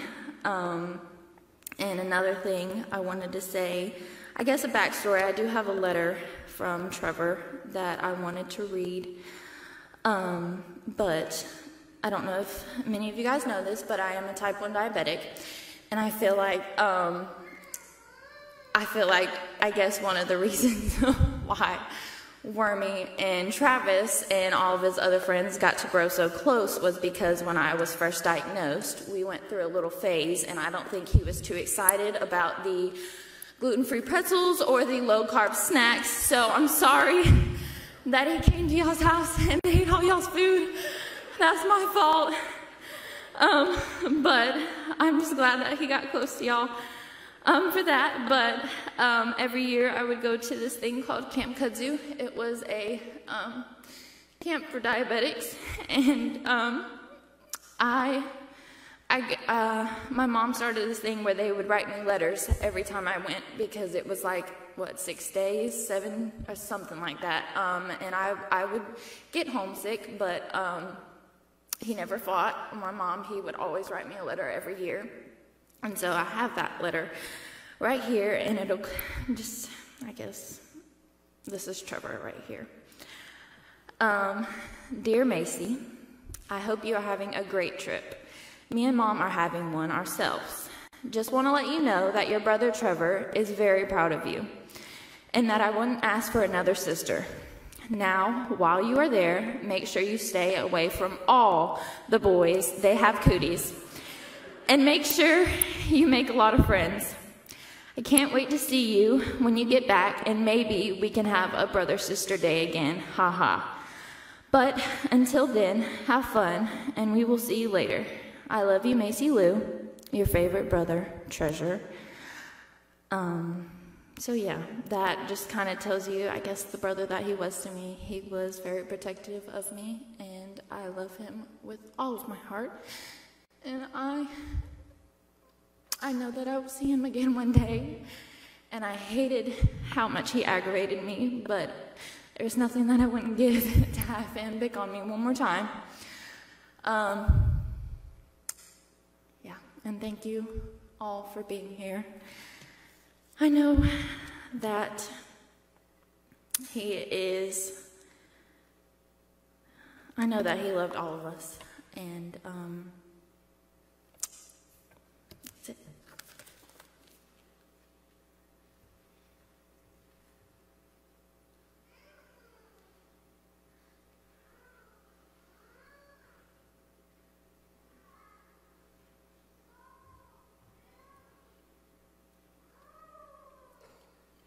Hello. My name is Amanda Barber. I've been in Trevor's life since the day he was born. And I just want Crystal and his family and his friends to know what you already do, what an amazing person he is, and how grateful I am that he invited his mother to church. Because of that seed, he has grown so many branches. Through Crystal, I have been saved. Through me, my family's been saved. Many, many people.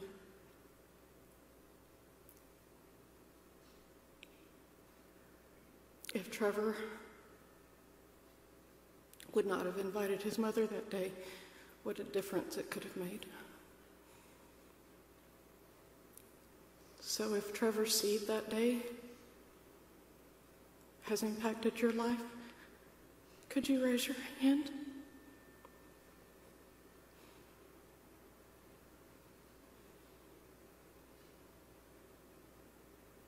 And it's going to be growing much further. So I hope that you're not ever afraid to invite somebody because it can make a difference. Thank you.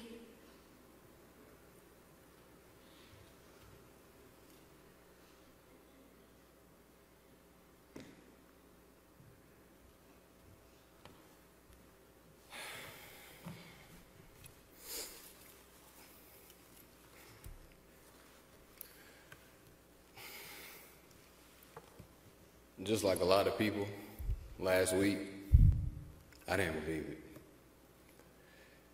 It crushed me so much. It tore me apart. I didn't want to talk to anybody because I couldn't believe it. And I spent days going through pictures, going through text messages, days trying to reflect it all. But it's real.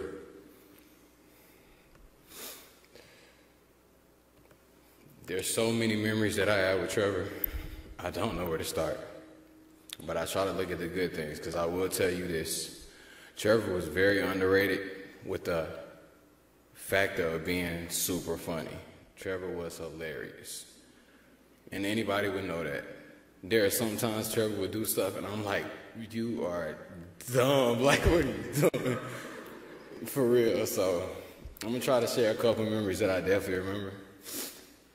So Trevor is very competitive, and I was competitive too. But there was one thing that I had to step above in Trevor, and that was basketball without Wormy. When, see, like we used to play two on two plenty of time. I met Trevor. I met Trevor in, ele- in middle school actually. Cole and my little brother were best friends. So that's we started meshing, and then high school. After that, we really started growing a bond. So we used to play basketball when he didn't have Wormy on his team, when it was just me, him, and Cole, or me and him, Trevor was the type of guy that you would look at and think that he would try to be closer to the basket. Trevor wanted to be far away from the basket and shoot the basketball. When he got close, Trevor couldn't keep his balance. He didn't have the feet the footwork that you would think. So I used to pull a move on Trevor. I used to contact Trevor and pull the chair on Trevor. And what that means is I will move out the way. Trevor would touch me and I will move out the way. All of that force and all of that weight, Trevor will fall on the ground. It worked every single time. Every time. And Cole said, You have to teach me that move. Cole knew it. Cole said, You got. Because one thing about him, man, there was always an excuse if he lost, but that guy there was, he would not stop. Trevor wanted to be great at every single thing. And another memory. So in high school, I'll never forget, like Wormy said, Trevor was so smart. He would sit in the back of the class and talk and play all day all day. His superlative was class clown. Trevor won it easily, unanimous, unanimous. The teacher told Trevor that at this point they've kicked him out numerous times. Trevor was no longer afraid of ISS. Trevor was no longer afraid of anything. He knew that. Trevor said, I, Trevor was in the back talking. The teacher looked at Trevor and said, Trevor, you're not going to, basically telling him he wasn't going to be successful. That was the wrong thing that he can tell somebody that worked at Publix supermarket. Boy, Trevor looked at the teacher and said, one day I'm going to be a store manager and I'm going to make more money than you. I kid y'all not. he was so bold, so creative. And he always wanted to live big. He did. And that, that there, I commend him for. And there, like I said, the timeline goes on, on and on and on, as far as memories of things that we have shared. And I've had memories with people that are in this room. This one here cut me deep. So anybody that's willing to come up here and honor this man, take the strength to come up here, because I kid y'all not, it took a lot for me to come here and deal with this right now. It's hard. But again, we are all here to be strong together, and that's what we must do. Trevor lived a great life in a short span of time, and maybe his work was done, but there was not a single moment when he first met Carly, how happy he was to be a husband of Carly. And the times when I would go over his house, and it's me, him, and Carson, how happy he was to be a father to Carson. So, everybody just try to maintain, and I'm saying that for the strength of myself, and that's it.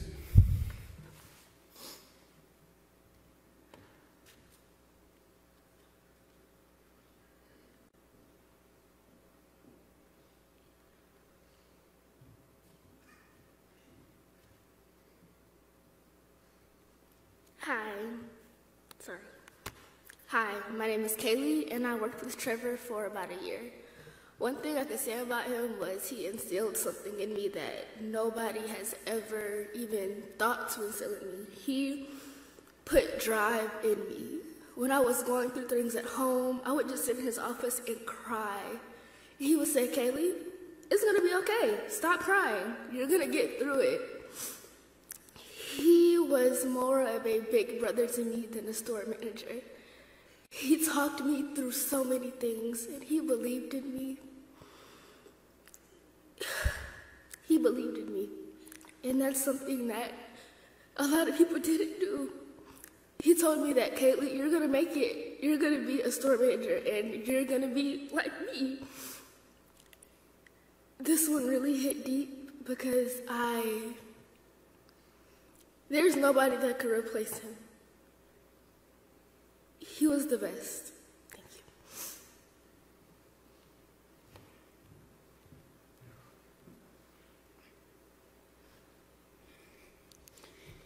Hi. I'm Trevor's nanny. And I'll never forget the stormy Friday evening he was born.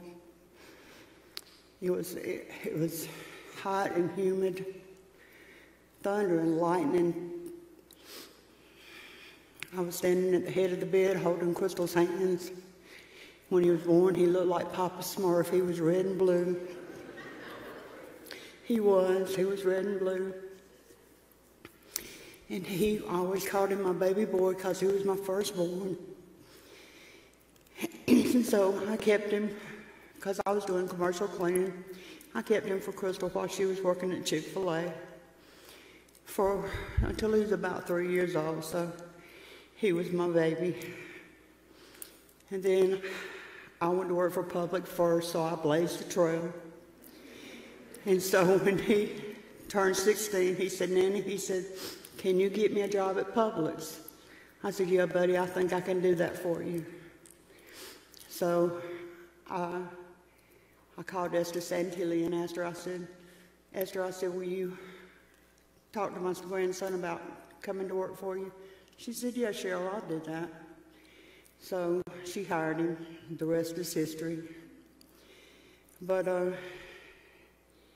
he he touched a lot of lives. And he gave me a wonderful memory. And he loved deep and he loved hard. And I know where he is, and I know he'll be there when I get there.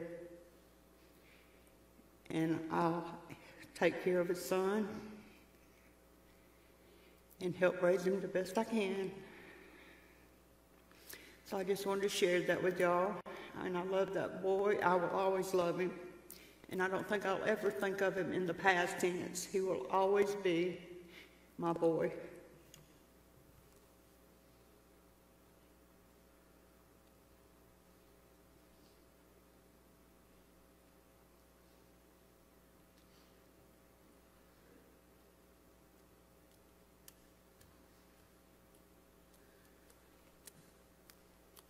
Hello. My name is Valerie Addison. I work for Publix, as you can guess. Um, I work in associate relations, which is just fancy for human resources. Um, my department works very closely with store managers, but I did not work any closer than anyone with, than Trevor. We had a inside joke that he would call me around seven or eight every couple nights or so. Um, I said I work for corporate. We stop at 4:30. Trevor. Um, he didn't care. Um, Trevor was, as we know, so full of life. I didn't mind getting the seven o'clock phone calls. He was so passionate about what he did. He cared for his people and his family and his friends, and it was so apparent. I noticed on the table out there his mission statement that he wrote, and one of the lines was, I want to leave a legacy. And if I have learned anything in the last week, he has done that. So, on behalf of Publix and our family, and to your family, we are here for whatever you need. That doesn't stop today. He is so loved, and his legacy will shine on.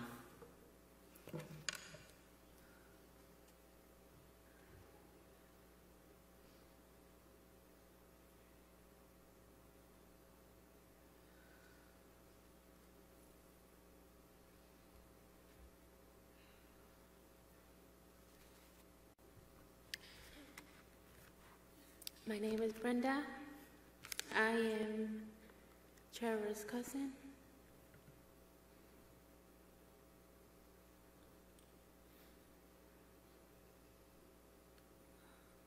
He really did go big, and he went home.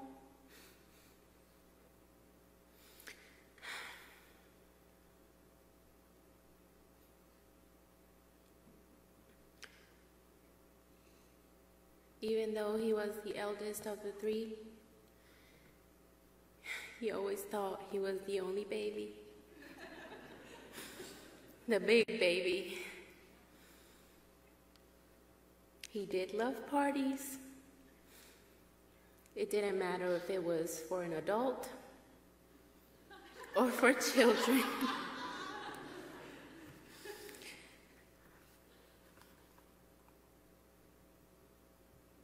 February 6th, he arrived to my home with a snotty nose and probably a body ache or a headache. And he made sure that no matter how he felt, he would spend some time with his family. And so this big baby brought a Nerf gun to my home and felt like he was going to be the leader. He was the leader to all the little children in my home that day. and they got hit with many Nerf gun bullets. All of them ended up crying. but he was so happy because he had beaten them all. They were all beat up.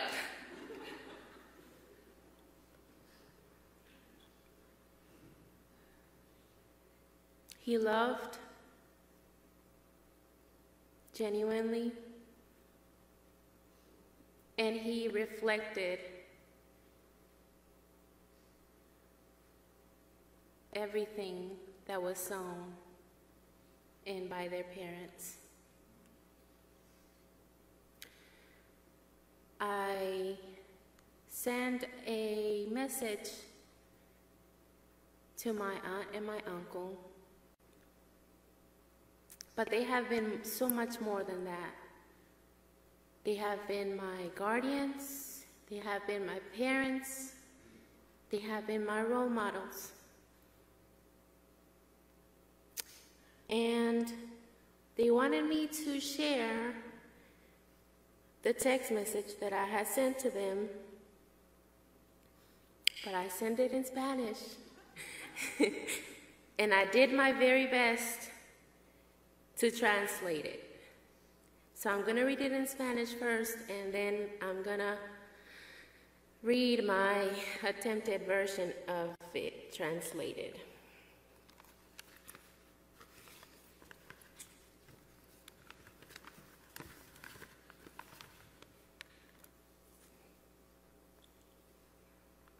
Estos últimos días han sido muy largos, dolorosos y tristes. Pero nuestra familia ha sido testigo de la fidelidad de Dios una vez más, como siempre lo ha prometido, como siempre lo ha hecho. Le doy gracias a Dios por confiar en nuestra familia con este difícil reto y por proveernos con la paz y fortaleza para poder enfrentarlo y sobresalir y seguir adelante. Nuestra familia, aún en el lamento, es abrazada por la paz y misericordia de Dios. El apoyo de la comunidad y el amor mostrado, mostrado hacia mi familia es increíblemente asombroso, aunque sé que no debería estar asombrada, pues Dios es capaz de lo imaginable sobrepasando cualquier expectativa. Aunque mi familia no estaba lista para una pérdida y una partida tan rápida y terrible, definitivamente Dios se encargó de que estuviera equipada para aguantar y seguir dando un buen testimonio, pues sabemos con certeza que algún día volveremos a reunirnos con Big Trev. Mis ojos experimentan cómo dos pilares fundamentales de mi familia se mantienen fuerte en tal tormenta y me enseñan cómo Dios ha trabajado en ellos para poder luchar y sobrepasar. Es muy notoria y visible los hermosos frutos que reciben del tal labor de sembrado por sus semillitas de amor a lo largo de los años. Gabriel y Cristal. Mis tíos, mis padres, mis hermanos en fe, mi ejemplo. El hermoso ejemplo de ser el vaso usado por Dios, con un corazón verdaderamente dispuesto sin importar la gravedad, perseverando y dando gloria y honra a Dios en todo momento. Mis ojos también han visto como una guerrera se levanta apretándose de la mano de Dios y encuentra las fuerzas para seguir adelante, dando nada más que lo mejor de ella, siempre asegurándose que todos los demás estén bien y tengan todo lo, necesario. Mi Carly, mi desinteresada Carly, mi audaz Carly, mi generosa Carly, mi fuerte Carly. Dios le dio la tarea por el momento de que se quedara un poco más y seguir haciendo la diferencia y el ejemplo para nosotros y para bebé Carson. Es difícil, pero no es imposible. Llevar a cabo tal tarea pues tiene primeramente la disposición de Dios y una comunidad dispuesta a suplir cualquier necesidad que tenga. Sé que no estamos solos. Tenemos un ejército de hermanos en fe para sostenernos, apoyarnos y ayudarnos a sobrepasar el momento, intercediendo en oración fervientemente y ahogándonos en amor.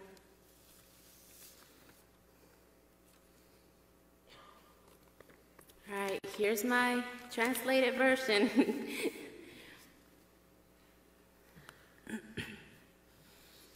These last few days have been very long, painful, and sad. But our family has been a witness to God's faithfulness, like He has always promised and has always been.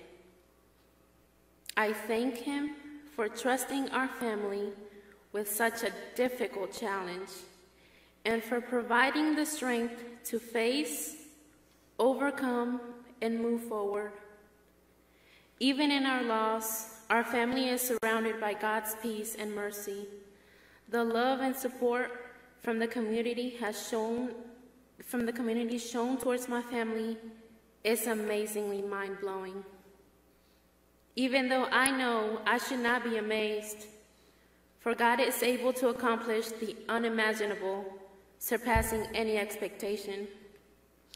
Although we were not ready for such a soon and terrible parting, God made sure we were definitely equipped to sustain and continue and give a good testimony. For we are certain that one day we will be reunited with Big Trev. My eyes have witnessed two fundament, fundamental family pillars stand strong teaching and showing me how God has worked in them in order to overcome. The spiritual fruits harvested in these last few days are only the results of the love seeds planted through the years, and they are obvious and visible. Gabriel and Crystal, my auntie, my uncle, my parents, my siblings in Christ, my example my example on how to be a true vessel ready to be used by God, with a willing heart, no matter the severity of the task, always persevering, giving glory and honor to God in everything. My eyes have also witnessed how a warrior finds her strength, gets up, and grip into God's hand moves forward, giving nothing but the best in her. Always making sure everyone else around is okay, and making sure that we have what we need. My sweet Carly, my selfless Carly, my bold Carly, my generous Carly, my strong Carly. God has given her the task to stay with us just a little longer, making the difference and setting the example for all of us and baby Carson. It's difficult, but never impossible. For you have God's help and a whole community willing to aid any need. I know we are not alone. We have a whole army of brothers and sisters in faith, sustaining, supporting, and helping our family overcome this season, interceding and praying fervently for us, and drowning us in love. Thank you. With love, Brenda.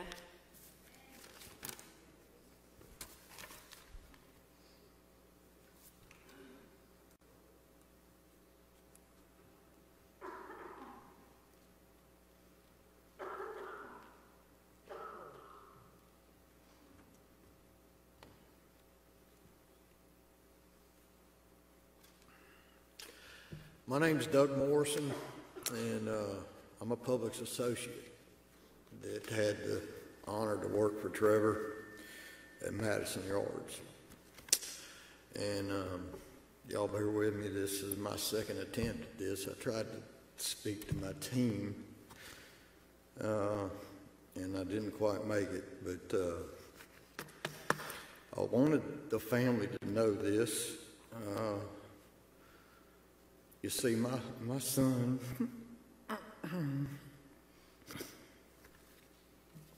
passed away last July. And uh, at his service, I looked up, and there was Trevor. And uh, it started a beautiful relationship, much more than a boss.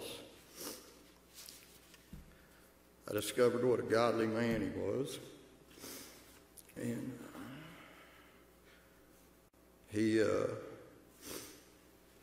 stayed by my side all the way through it. When I came back to work, he was always there, always came to check on me. He just had the biggest heart. And uh, was a huge source of strength for me. And I think maybe most of us might have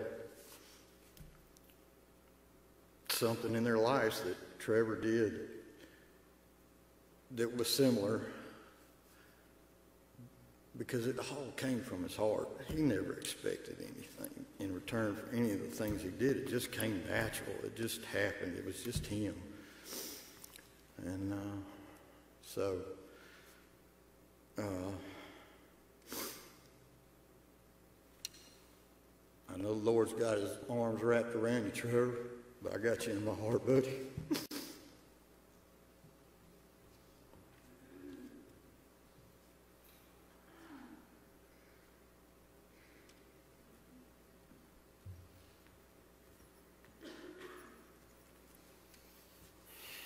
How's everybody doing today? Um, most of y'all know me. I am Cole, little brother, the uh, the burden that Trevor was placed here to take care of. Um, I know I am his one true little brother, but I know that people like TJ, people like Eric, people like Wormy, people like even Jonathan, um, people that are older than Trevor look up to Trevor. Um, he little broed a lot of us. Um, you know, I, I spent a lot of my life trying to be like Trevor. Like more than anything, I wanted to be like my brother. I have basketball shorts right now under my dress pants because Trevor started that probably 15 years ago, and, and I haven't let it go. Um, there's so many things, Publix, um, my career cho- choices, the kind of car I drive. I drive a Dodge because Trevor drove a Dodge. Um, my love for basketball, I mean, Trevor taught me everything, everything that I know. Um, Trevor's such a big part of my identity. I'm not even quite sure how, who, who how I'm going to move forward, who I'm going to be. But I know that he's got his arms around me. I know that he's watching over me and my family. And in his departure, he left me a lot of other big brothers out there to take care of me. People that I, I've uh, uh, kind of hated growing up. Dakota and Wormy, they weren't always nice to me because Trevor wasn't always nice to me. But, uh, but I know now why, why they, like, why they pushed me, why they did the things that they did. Um, and, and, I, and I'd give anything to have him here making fun of my, my shacks when I was in the sixth grade. Um, I remember Trevor, Trevor has bought me almost every single pair of my shoes. He's a sneakerhead, if y'all didn't know that. Um, as much as he wears slides, he, he used to love his sneakers. Um, man, I, I, don't, I don't know. Uh, I know that even Brandon Wilcher, um, people like us, man, like the people that really bought into Trevor, that he, he changed our lives. TJ was kind of touched on it. Um, Trevor has pushed so many people to be the best version of them that they could be. Um, and I pray, I pray, I pray that all of those people don't stop. I know he might not be here whispering in your ear anymore, but um, but he's still here. And uh, we and I don't I don't know about everybody else, but this means that I can never let my brother down. I'll never let I'll never let anything stop me because he never let him anything stop him. There wasn't nothing that Trevor did that he didn't want to do, and there's nothing that Trevor wanted to do that he didn't do. Um, I want to make sure y'all know, like my brother did not die. My brother lived. My brother lived 28 years. He did not want for anything. He's the type of guy that he'll call you today and say, I'm thinking about getting a new gun. Tomorrow he's calling you talking about big dog. Guess what I just got? Like, he, that, that's him. Uh, he wanted to go on a cruise. He went. If he wanted to go anywhere in this world, if he wanted to do anything on, on this earth, he did it. And, uh, and, and that's so inspirational to me. And I hope it translates the inspiration to every, each, and one, each and every one of you guys. Um, to my parents, Papa, Mama, thank you guys. Compose myself. Thank you guys. Growing up, we, we would have called y'all we called y'all everything from slave drivers to just I mean it was nuts, man. But it all played a part and, and it all played a part to who we are today, and I really appreciate it.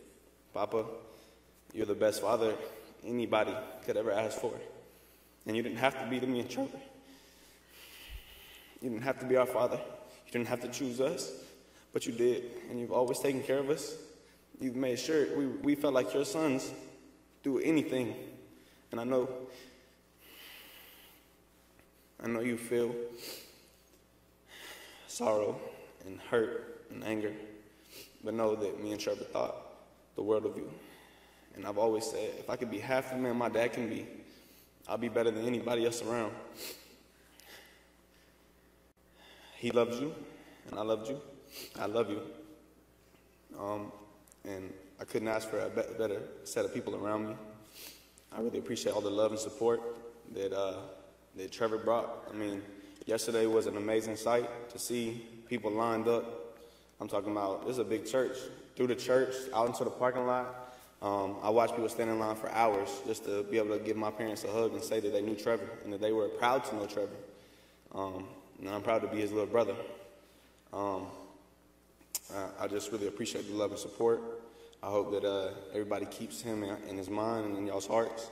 Uh, I know he'll forever be in mine.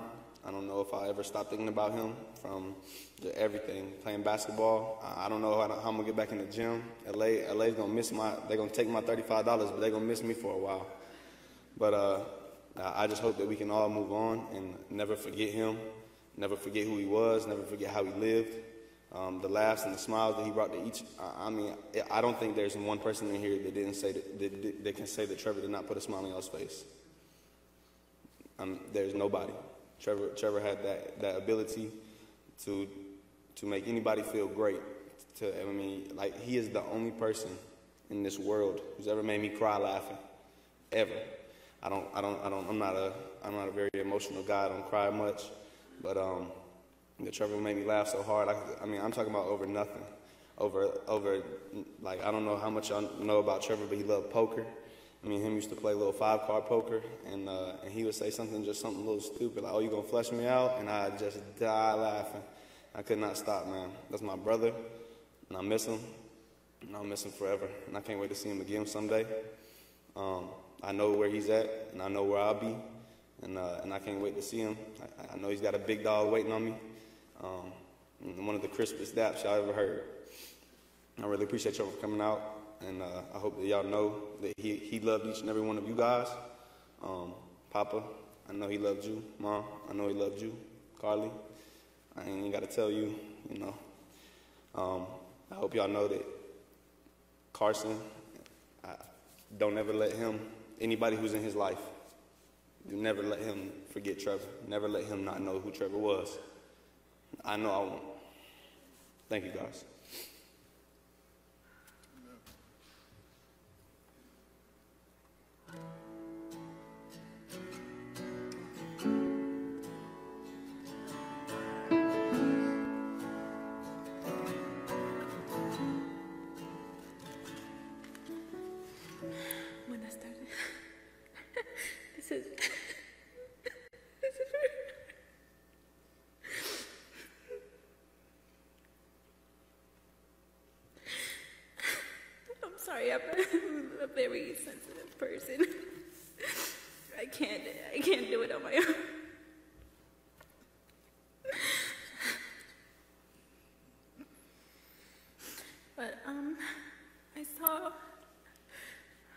Trevi on Monday, and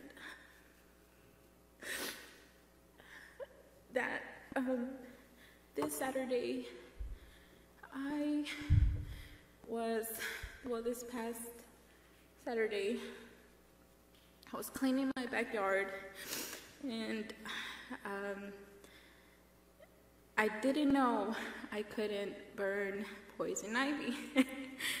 and unfortunately, I inhaled the smoke and got in my system, so I broke out all in my body.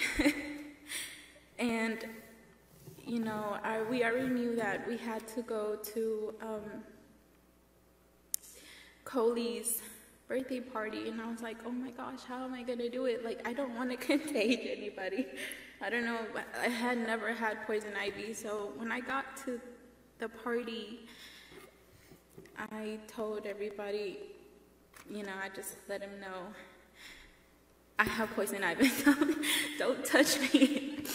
So everybody was like, but, you know, Trevi saw me and and he was one of the only ones that that didn't care and he hugged me anyway you know, I know that a lot of people have, he, he loved to hug, so he's he's a big guy, so y'all know it's like hugging a big teddy bear. but um, when all of this happened,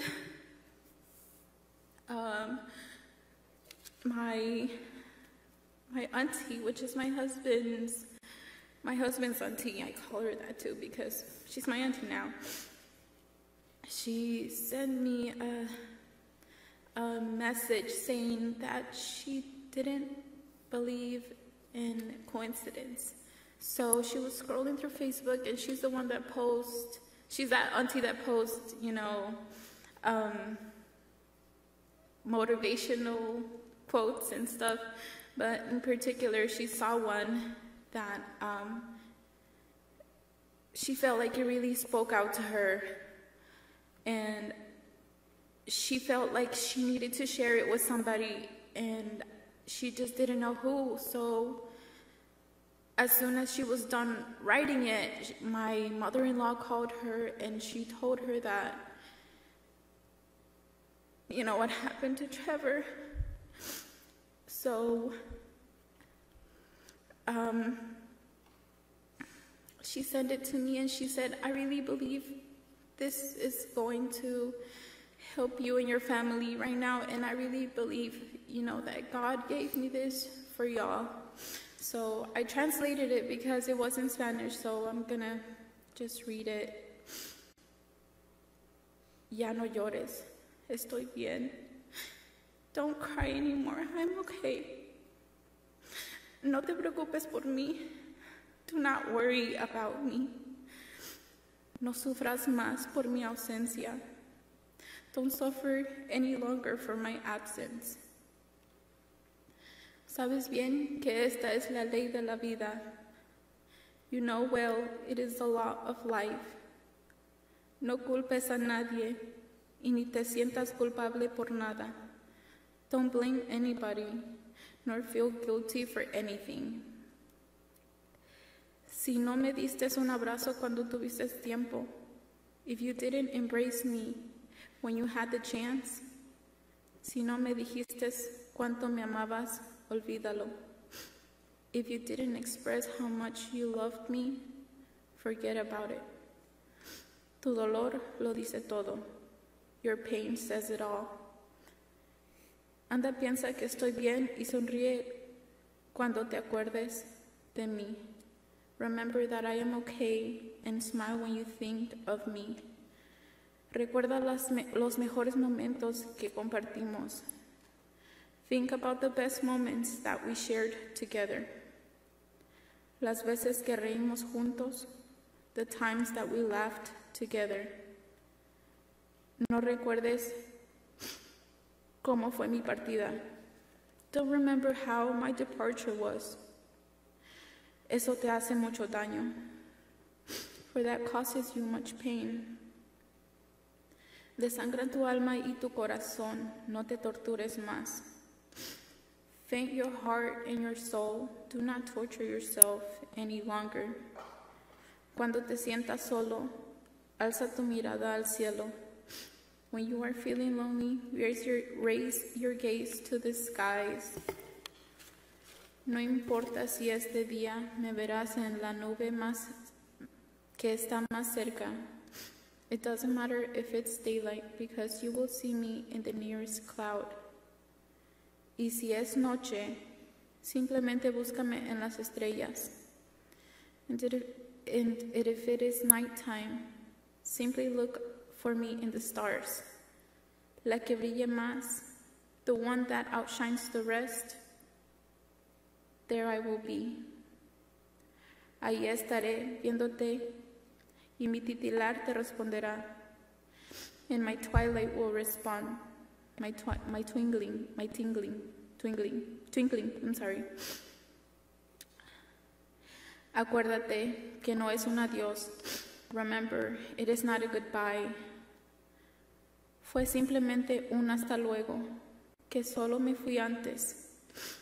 And it is just a simple see you later because I just left a little sooner. Tomé el tren antes que ustedes. I took the train before all of you. Pero mientras, mantengan viva mi memoria. But in the meanwhile, keep my memory alive. Yo viviré en cada uno de ustedes. And I will live in each and one of you. And that is it. Um, if it wasn't for that day that Trevor didn't invite my auntie to this church, me, my brother, and my sister wouldn't have been saved in the same church and wouldn't have been baptized right up there. Thanks to him, my husband was saved. My parents were saved. And hopefully, the rest of the family. we will miss him so much. Thank you. I know the memories of Trevor could we could talk about him for days and days and and I, I hate to cut it short, but I, I just think we need to continue to celebrate his life and uh, just encourage you to to reflect on this song.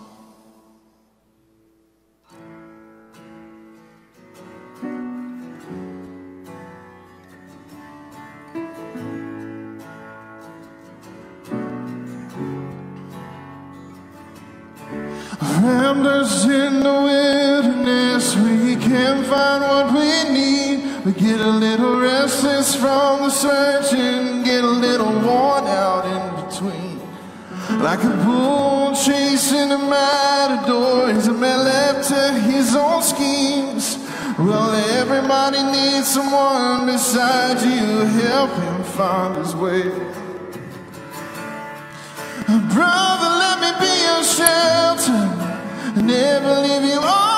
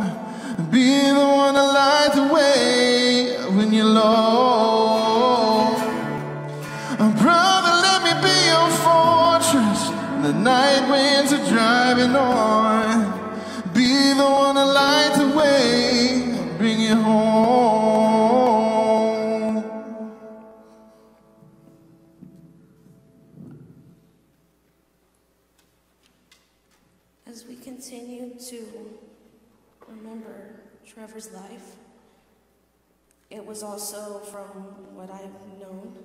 It's also a big part of his family. Um, I'm sorry. that he understood, spoke Spanish, and a lot of family members and friends also spoke Spanish or speak Spanish. So um, Crystal also asked my dad to, you know, and, and for us to bring these these songs in Spanish. And I have translated, tried my best. Some of it doesn't really make sense in English, um, to sort of so you could sort of understand what we're singing about.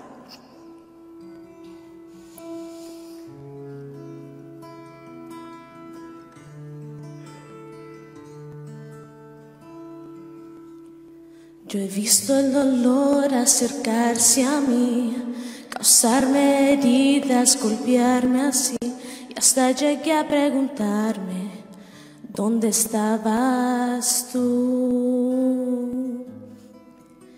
He hecho preguntas en mi aflicción, buscando respuestas sin contestación, y hasta dudé por instante de tu compasión. Y aprendí que en la vida todo tiene un sentido.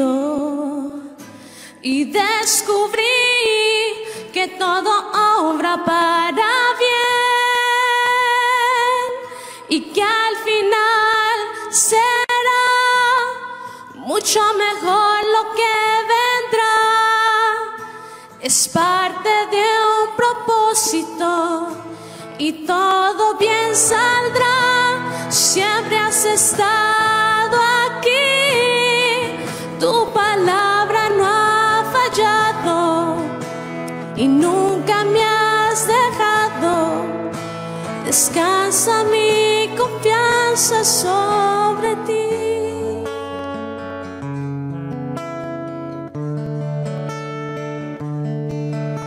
Yo he estado entre la espada y la pared, rodeado de insomnio sin saber qué hacer, pidiendo a gritos tu intervención.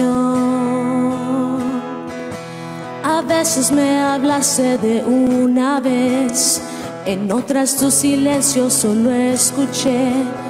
Qué interesante tu forma de responder. Y aprendí que pasa bajo el cielo, conoces tú que todo tiene una razón y que al final será mucho mejor lo que vendrá. Es parte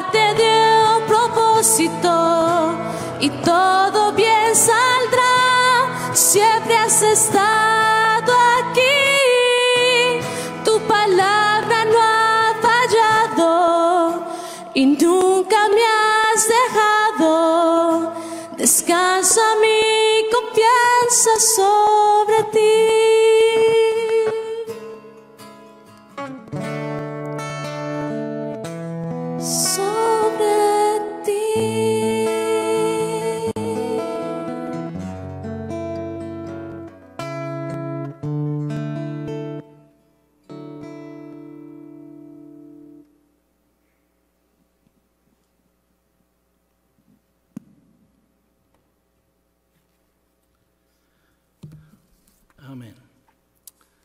Amen. I'd like to say thank you to the family for the invitation, and uh, we keep praying for you all. And uh, to honor Trevor uh, Gutierrez's life, they asked me to present the message, this message in Spanish. So I'm going to do it in Spanish. It's not going to be too long, but uh, enough to for the people to know that um, what the Bible says John 11, when uh, the friend of Jesus, Lazarus, died. And um, I want to present it uh, in Spanish. Doy gracias a Dios por la familia, por la invitación que me dieron. Estamos con ustedes y honrando la memoria de Trevor. queremos, eh, me han pedido que eh, presente el mensaje en español y lo hago con mucho gusto. Y en estos momentos, eh, escuchando lo que decían, la vida de él, cómo se preocupaba por las personas, qué es lo que hacía y cómo a través de él la familia fue salva y cómo todavía sigue tocando las vidas. Ah, pues qué privilegio, qué privilegio poder ah, presentarles la palabra del Señor y, que todo el mundo sepa, y como mencionaba Martita, dijo, ah, para que más personas todavía puedan seguir siendo tocadas por su vida a través de su testimonio de lo que Él hizo. Dice la palabra del Señor en San Juan, capítulo 11, en el verso 24 y al 27 voy a estar leyendo. Es una conversación que Jesús tuvo con Marta, la hermana de Lázaro. Y Lázaro había muerto, hacía cuatro días que había muerto cuando Jesús viene.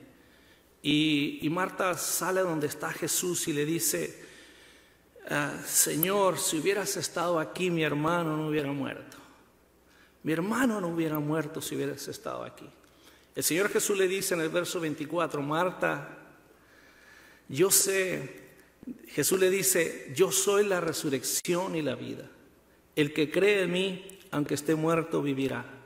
En primer lugar, qué privilegio. Dios nos da una promesa, que aunque pasemos de esta vida a la otra, Dios nos da una promesa de que los que creen en Cristo, los que tienen una relación personal con Él, la Biblia dice, y Jesús lo dijo, esa es la gran promesa, que aunque estemos muertos, viviremos con Él.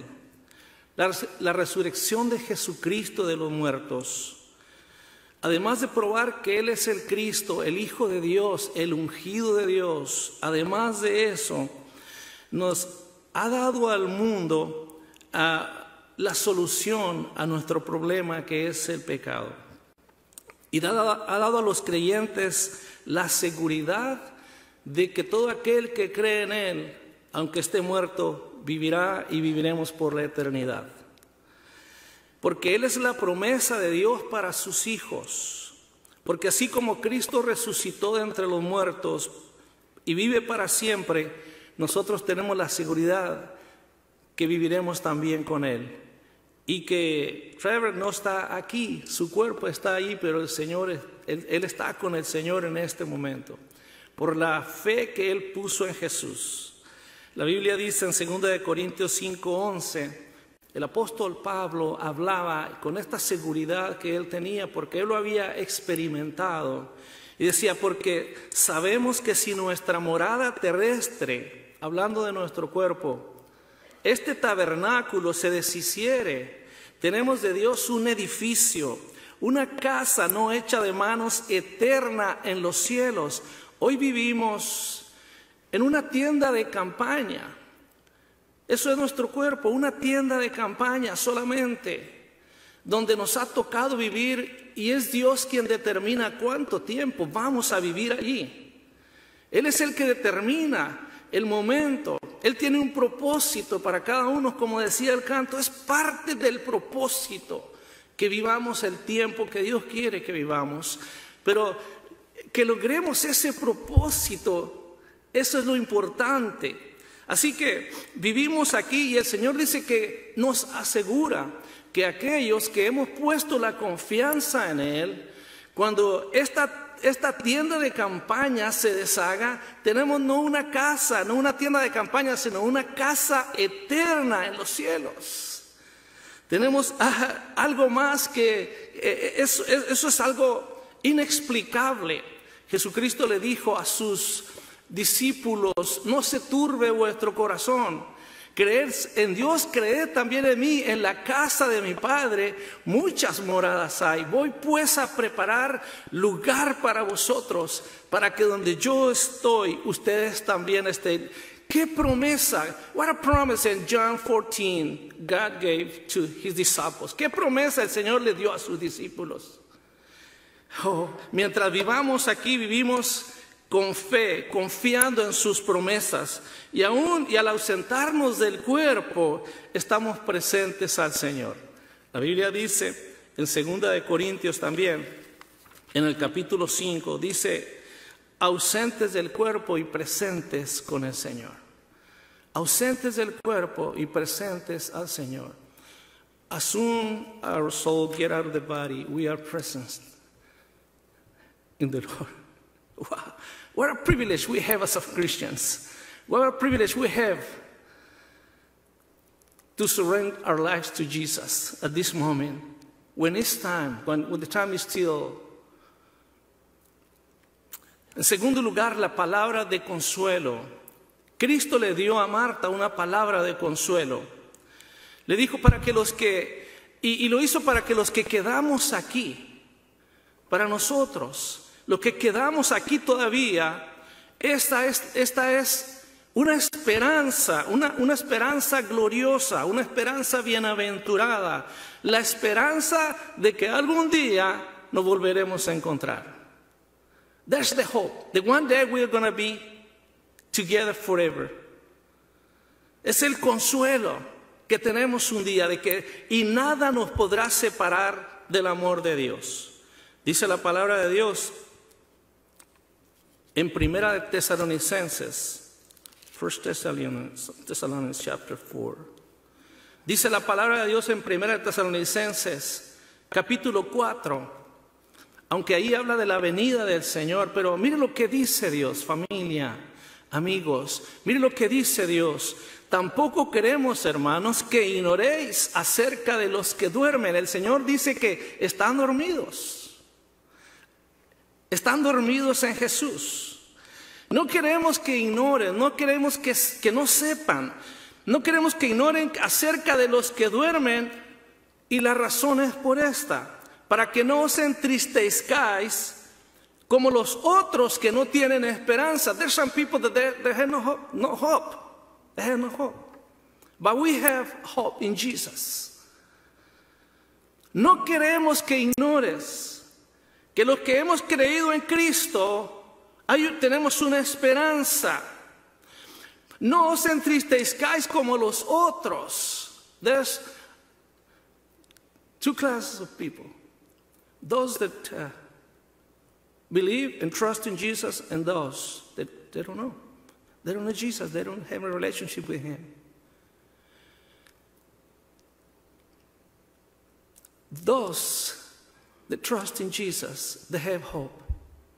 God gave us hope. And Él promete que estará con nosotros. He promised that He going, is going to stay with us during these hard times because it's hard. But the Lord is, His promises are there. Sus promesas están allí. Dice, porque si creemos que Jesús murió, la razón es esta. This is the reason. Chapter, uh, verse 14. Esta es la razón, porque si creemos que Jesús murió y resucitó, así también traerá Dios con Jesús a los que durmieron en Él. Por lo cual os decimos esto en palabra del Señor, que nosotros que vivimos, que habremos quedado hasta la venida del Señor, no nos vamos a adelantar a los que durmieron, porque el Señor mismo con voz de mando, con voz de arcángel y con trompeta de Dios descenderá del cielo, y los muertos en Cristo resucitarán primero. Luego nosotros, los que vivimos, los que habremos quedado, seremos arrebatados juntamente con ellos en las nubes para recibir al Señor en el aire y así estaremos siempre con el Señor. ¡Qué aliento! El verso 18 dice, por tanto, alentados los unos a los otros con estas palabras. Encourage each other with these words. Alentados los unos a los otros con estas palabras. Y por último, en tercer lugar, una, Dios nos, ya, nos da, Cristo le dio una invitación a aquellos, una invitación a creer en Cristo. At the end. En tercer lugar, God make an invitation a creer en Cristo y su verdad. To believe in Jesus. He is the way. He is the truth. Él es la vida. Y Dios nos hace una invitación. Cuando Dios creó al hombre, en el huerto del Edén lo creó perfecto, lo creó santo, sin pecado, pero lo creó con libre albedrío, con una voluntad propia para que decidiera qué es lo que iba a hacer. El hombre decidió separarse de Dios. When God created Adam and Eve, and he put them on the Garden of Eden. But he gave them the opportunity to decide what to do obey him or reject him. The man decided to reject Jesus. I mean, God. And the sin came into the world. Y el pecado vino al mundo. Pero gracias a Dios, que Dios nos hace una invitación. God promised that time that he would send a savior. Dios prometió en ese tiempo que enviaría a un salvador. And that, that is the invitation that God is making to all of us today. If you don't know Jesus as your savior, You need to think about very serious about this. Si usted no conoce a Jesucristo como su Salvador en este momento, tiene que pensar seriamente, because one day God is going to call everybody, everybody of us. That's for sure. Eso es por seguro. So Dios nos hace una invitación a venir a Él. God provide Dios proveyó, Dios proveyó lo que el ser humano necesita. Él proveyó lo que nosotros necesitamos para restablecer nuestra comunión con Él. La Biblia dice, porque no hay justo ni aun uno, el hombre no puede solo, familia que no conoces a Jesús, amigos que no conocen a Jesús. Esta es una de las cosas por las cuales estoy, tengo el privilegio de estar aquí en esta tarde. Me han pedido, según el corazón de este joven, era que todo el mundo sepa, que todo el mundo conozca, que tenga una relación personal con Jesucristo. Si tú no conoces a Jesús, esa es la invitación que en este momento se te está haciendo. Cristal me decía, y Gabriel, Él siempre quiso eso. Así que no podemos por nosotros mismos, porque la Biblia dice que no hay justo ni aun uno, por cuanto todos pecaron y están destituidos de la gloria de Dios. Dios proveyó el camino. Everybody knows that uh, verse, John 3:16. ¿Qué hay allí? What is there? Love, the love of God. God loves the world. He gave His only Son to die for us. That is the invitation. Esa es la invitación. Porque de tal manera amó Dios al mundo que ha dado a su Hijo unigénito. Y escúcheme, para que todo aquel que en Él cree no se pierda, mas tenga vida eterna. Whosoever believes in Him do not perish but have everlasting life. Do you know Jesus? Do you have a good relationship with Jesus? Is He just your Savior? Your faith is in Him? ¿Has, ¿Has confiado en Jesucristo como tu Salvador personal? ¿Tu fe está en Él? Si Dios te llamara hoy, ¿dónde estaría tu alma? ¿A dónde iría? La Biblia dice en Juan, 1 Juan 5:21, el que tiene al Hijo tiene la vida. Pero el que rehúsa creer en el Hijo no verá la vida, sino que la ira de Dios está sobre él. La palabra de Dios es muy clara. Mi pregunta para usted es esta. My last question for you is this. Do you know Jesus? One more time. Do you know Jesus as your Savior? If you don't, why don't you do it today? Do it today. He's calling you. He's making the invitation to you to come, and He promised that He will be save you. He's going to save you. Te va, te va a salvar. Así que el que tiene al Hijo tiene la vida. Dios dio su Hijo para morir por ti y por mí. Es una invitación a creer. ¿Lo creerás? El que tiene al Hijo, el Señor promete que le dará la vida. Amigos, compañeros, familia, qué privilegio saber, conocer a Jesucristo a través de la vida de Trevor. Qué privilegio. Yo creo que estaremos por siempre, la familia estará por siempre agradecida a Dios por la vida de Él, por ese corazón grande que Él tenía, que él, un corazón grande que Dios le dio para amar, para preocuparse por los demás. What a privilege we have as a Christians. There's nothing better than that. I'm going to ask you, let's give thanks to the Lord for his life and let's pray too. If you don't know Jesus, you can do it today. Just bow your heads and say, Lord,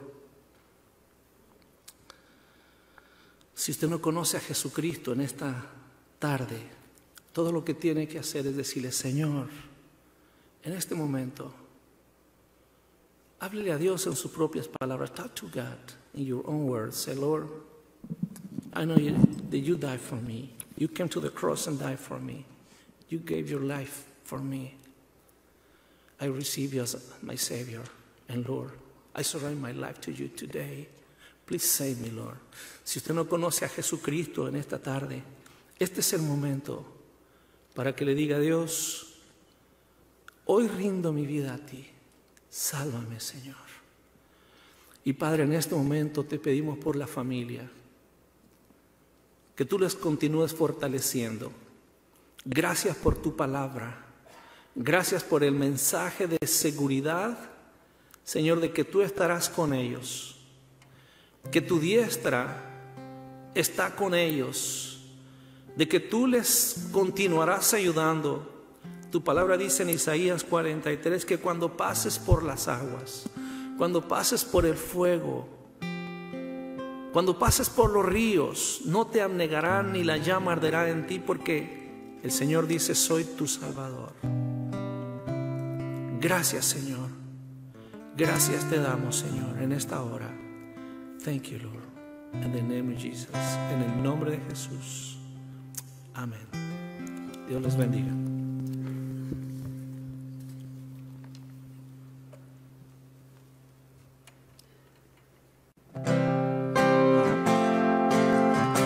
como si fuera mi último día. Voy a vivir en la vida, amando sincero, mostrando a los míos cuánto los quiero. Como si fuera mi último día, voy a luchar por mis sueños viviendo sin miedo y cada minuto vivirlo intenso. No voy a esperar hasta el mañana, si el presente lo tengo, como si no hubiese tiempo, me quedara un momento. Voy a mostrar que te amo, que soy contento, que te tengo, como si tu alegría depende de mí. Voy a darlo todo por ti y voy a hacer de ese día el mejor que pueda vivir, como si fuera mi último chance para mirarte de nuevo. Haré del momento el más importante de tu recuerdo en el estrés de la vida. Se nos escapan detalles que luego más adelante lamentamos olvidarse y a veces se hace difícil o imposible recuperarles como si no hubiese tiempo me quedara un momento voy a mostrar que te amo que soy contento que te tengo como si tu alegría depende de mí. Voy a darlo hacer de ese día el mejor que pueda vivir. Disfrutar todo aquello que Dios me brindó mis amigos, familia y amor. Y voy a hacer de ese día el mejor que pueda vivir. Y voy a hacer de ese día el mejor que pueda vivir.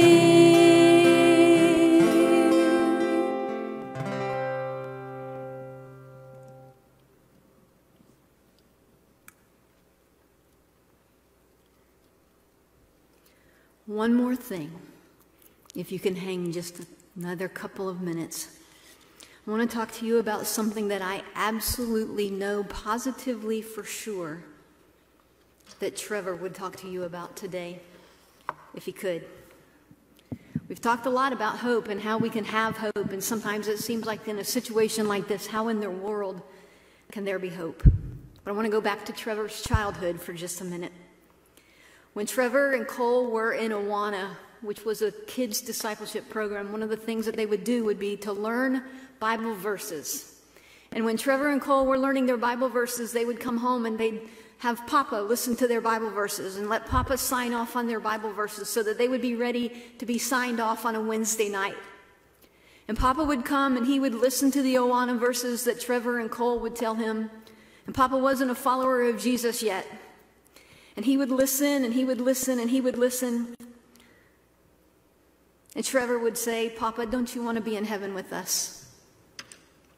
And Trevor would say, Papa, don't you want us all to be in heaven together? In seven years so made the choice to be a follower of Jesus. Gabby made that choice as well.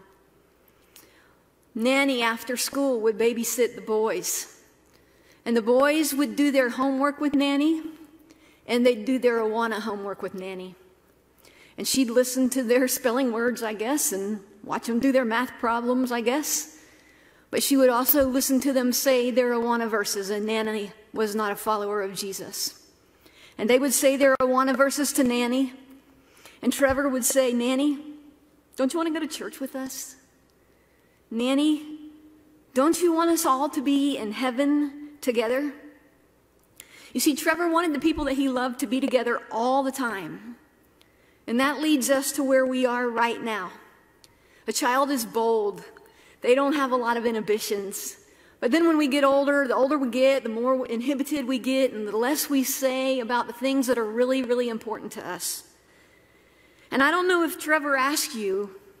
Carly told me that kind of Trevor learned the rules about how bold to be, but there were always conversations going on in the background.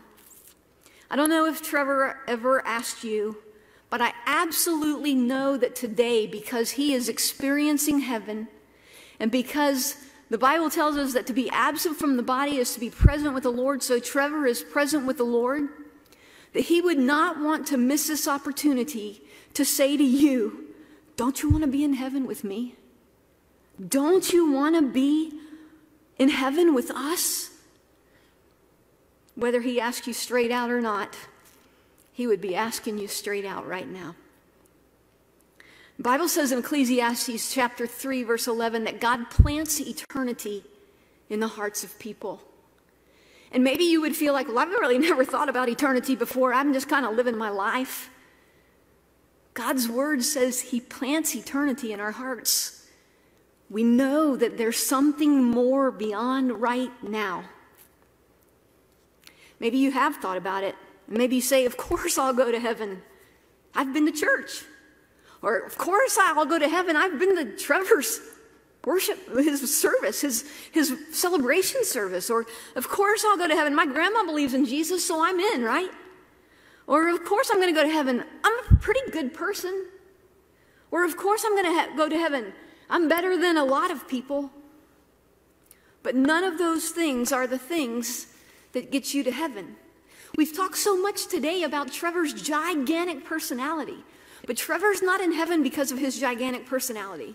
We've talked a lot about what a great Publix employee he is, but he's not in heaven because he's a great Publix employee.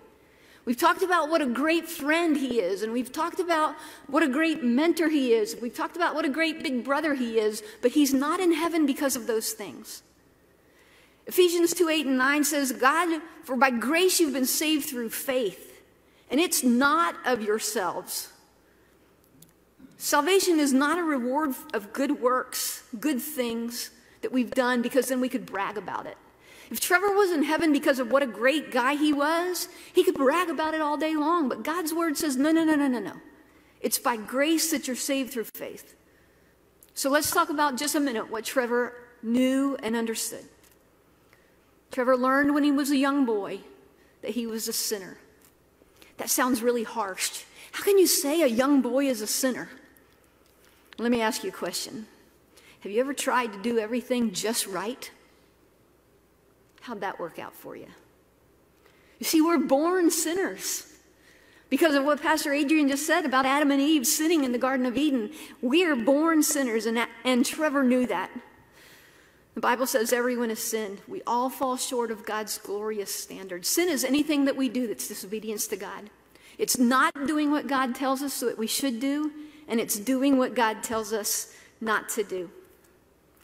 Isaiah 59 2 says it's your sins that have cut you off from God. Because of your sins, He's turned away. And that might sound harsh too. Like, what? I've heard all the time that God is love. How can He turn away from me? We see the difference, the contrast between us and God is that we are sinners, but God is holy. He has no sin. And as much as He loves us, He cannot be around our sin. But there's some really good news. Romans 6:23 says the wages, the payment of sin is death, to be forever separated from God. But there's really great news here in the rest of this verse. But the free free doesn't cost us anything, but it costs a lot. The free gift of God is eternal life through Christ Jesus. Pastor Adrian just recited to you John 3:16, God loved the world so much that he gave his only son so, so that whoever believes in him won't perish but would have eternal life. That's what Trevor's experiencing right now. Because Trevor put his faith and trust in Jesus. Crystal said to me on Friday, I want everyone there to know that Jesus is the only way to heaven. Jesus said it in John 14, 6. He said, I'm the way, I'm the truth, I'm the life, and no one comes to the Father except through me. That sounds pretty much like a non negotiable to me. Romans 5 8 says, God showed his great love for us. Another translation says, God proved his love for us. And that even while we were sinners, Christ died for us. See, the great news is you don't have to get it all together before you put your faith and trust in Jesus. You don't have to clean up your act before you put your faith and trust in Jesus. All you have to do is understand that even while we were sinners, Christ died for us. But Jesus didn't die on the cross only. Billy talked a while back about Sunday and what Sunday brought. And Sunday brought the resurrection. And Jesus said, I am the resurrection and the life. Anyone who believes in me will live even after dying. Trevor's living even after dying because Jesus rose from the dead. Jesus defeated death. Death has no victory. The Bible says death has no sting. And we feel hurt because Trevor is not with us right now. But we can have incredible hope because Trevor is not lost. Trevor is in heaven, experiencing eternal life for longer than we can ever, ever imagine. And again, Trevor would say, Don't you want to be in heaven with me? Romans 10 9 and 10 says, If you confess with your mouth Jesus is Lord and believe in your heart that God has raised him from the dead, you'll be saved. And then verse 13 says, For everyone who calls on the name of the Lord will be saved. So it's simple. Think about Trevor and how much you love him, but then think about this. The most important thing that he would want to know is don't you want to be in heaven with me? And you can't get to heaven by being a great guy like Trevor, and you can't get to heaven like by being the best employee, and you can't get to heaven by doing all the good things that you talked about that Trevor have done. The only way you can get to heaven is to believe in your heart and confess with your mouth that Jesus is Lord, to put your faith and trust in Jesus. And you might say, I don't have a clue how to do that. Let me tell you this there's nothing magic about words because what God hears is basically the position of your heart. All you have to do is tell Him, God, I know that I sin. I can't get it right. But Jesus, thank you for dying on the cross for me. Thank you for being willing to take my punishment. Jesus, if you hadn't done that, I would be forever lost. Jesus, I want you to come into my life. I want to turn from my sin. And Jesus, I want you to come into my life and forgive my sin. And I want to follow you for the rest of my life. And that's all it takes. Again, you don't have to get it together to give your life to Jesus. No matter how old you are, no matter what you've done, no matter where you've been, no matter who you are. All you have to do is trust Jesus like Trevor did as a young boy. Many of you may say, okay, I, I, believe you. I, I need to figure out more about how I can make this choice to follow Jesus.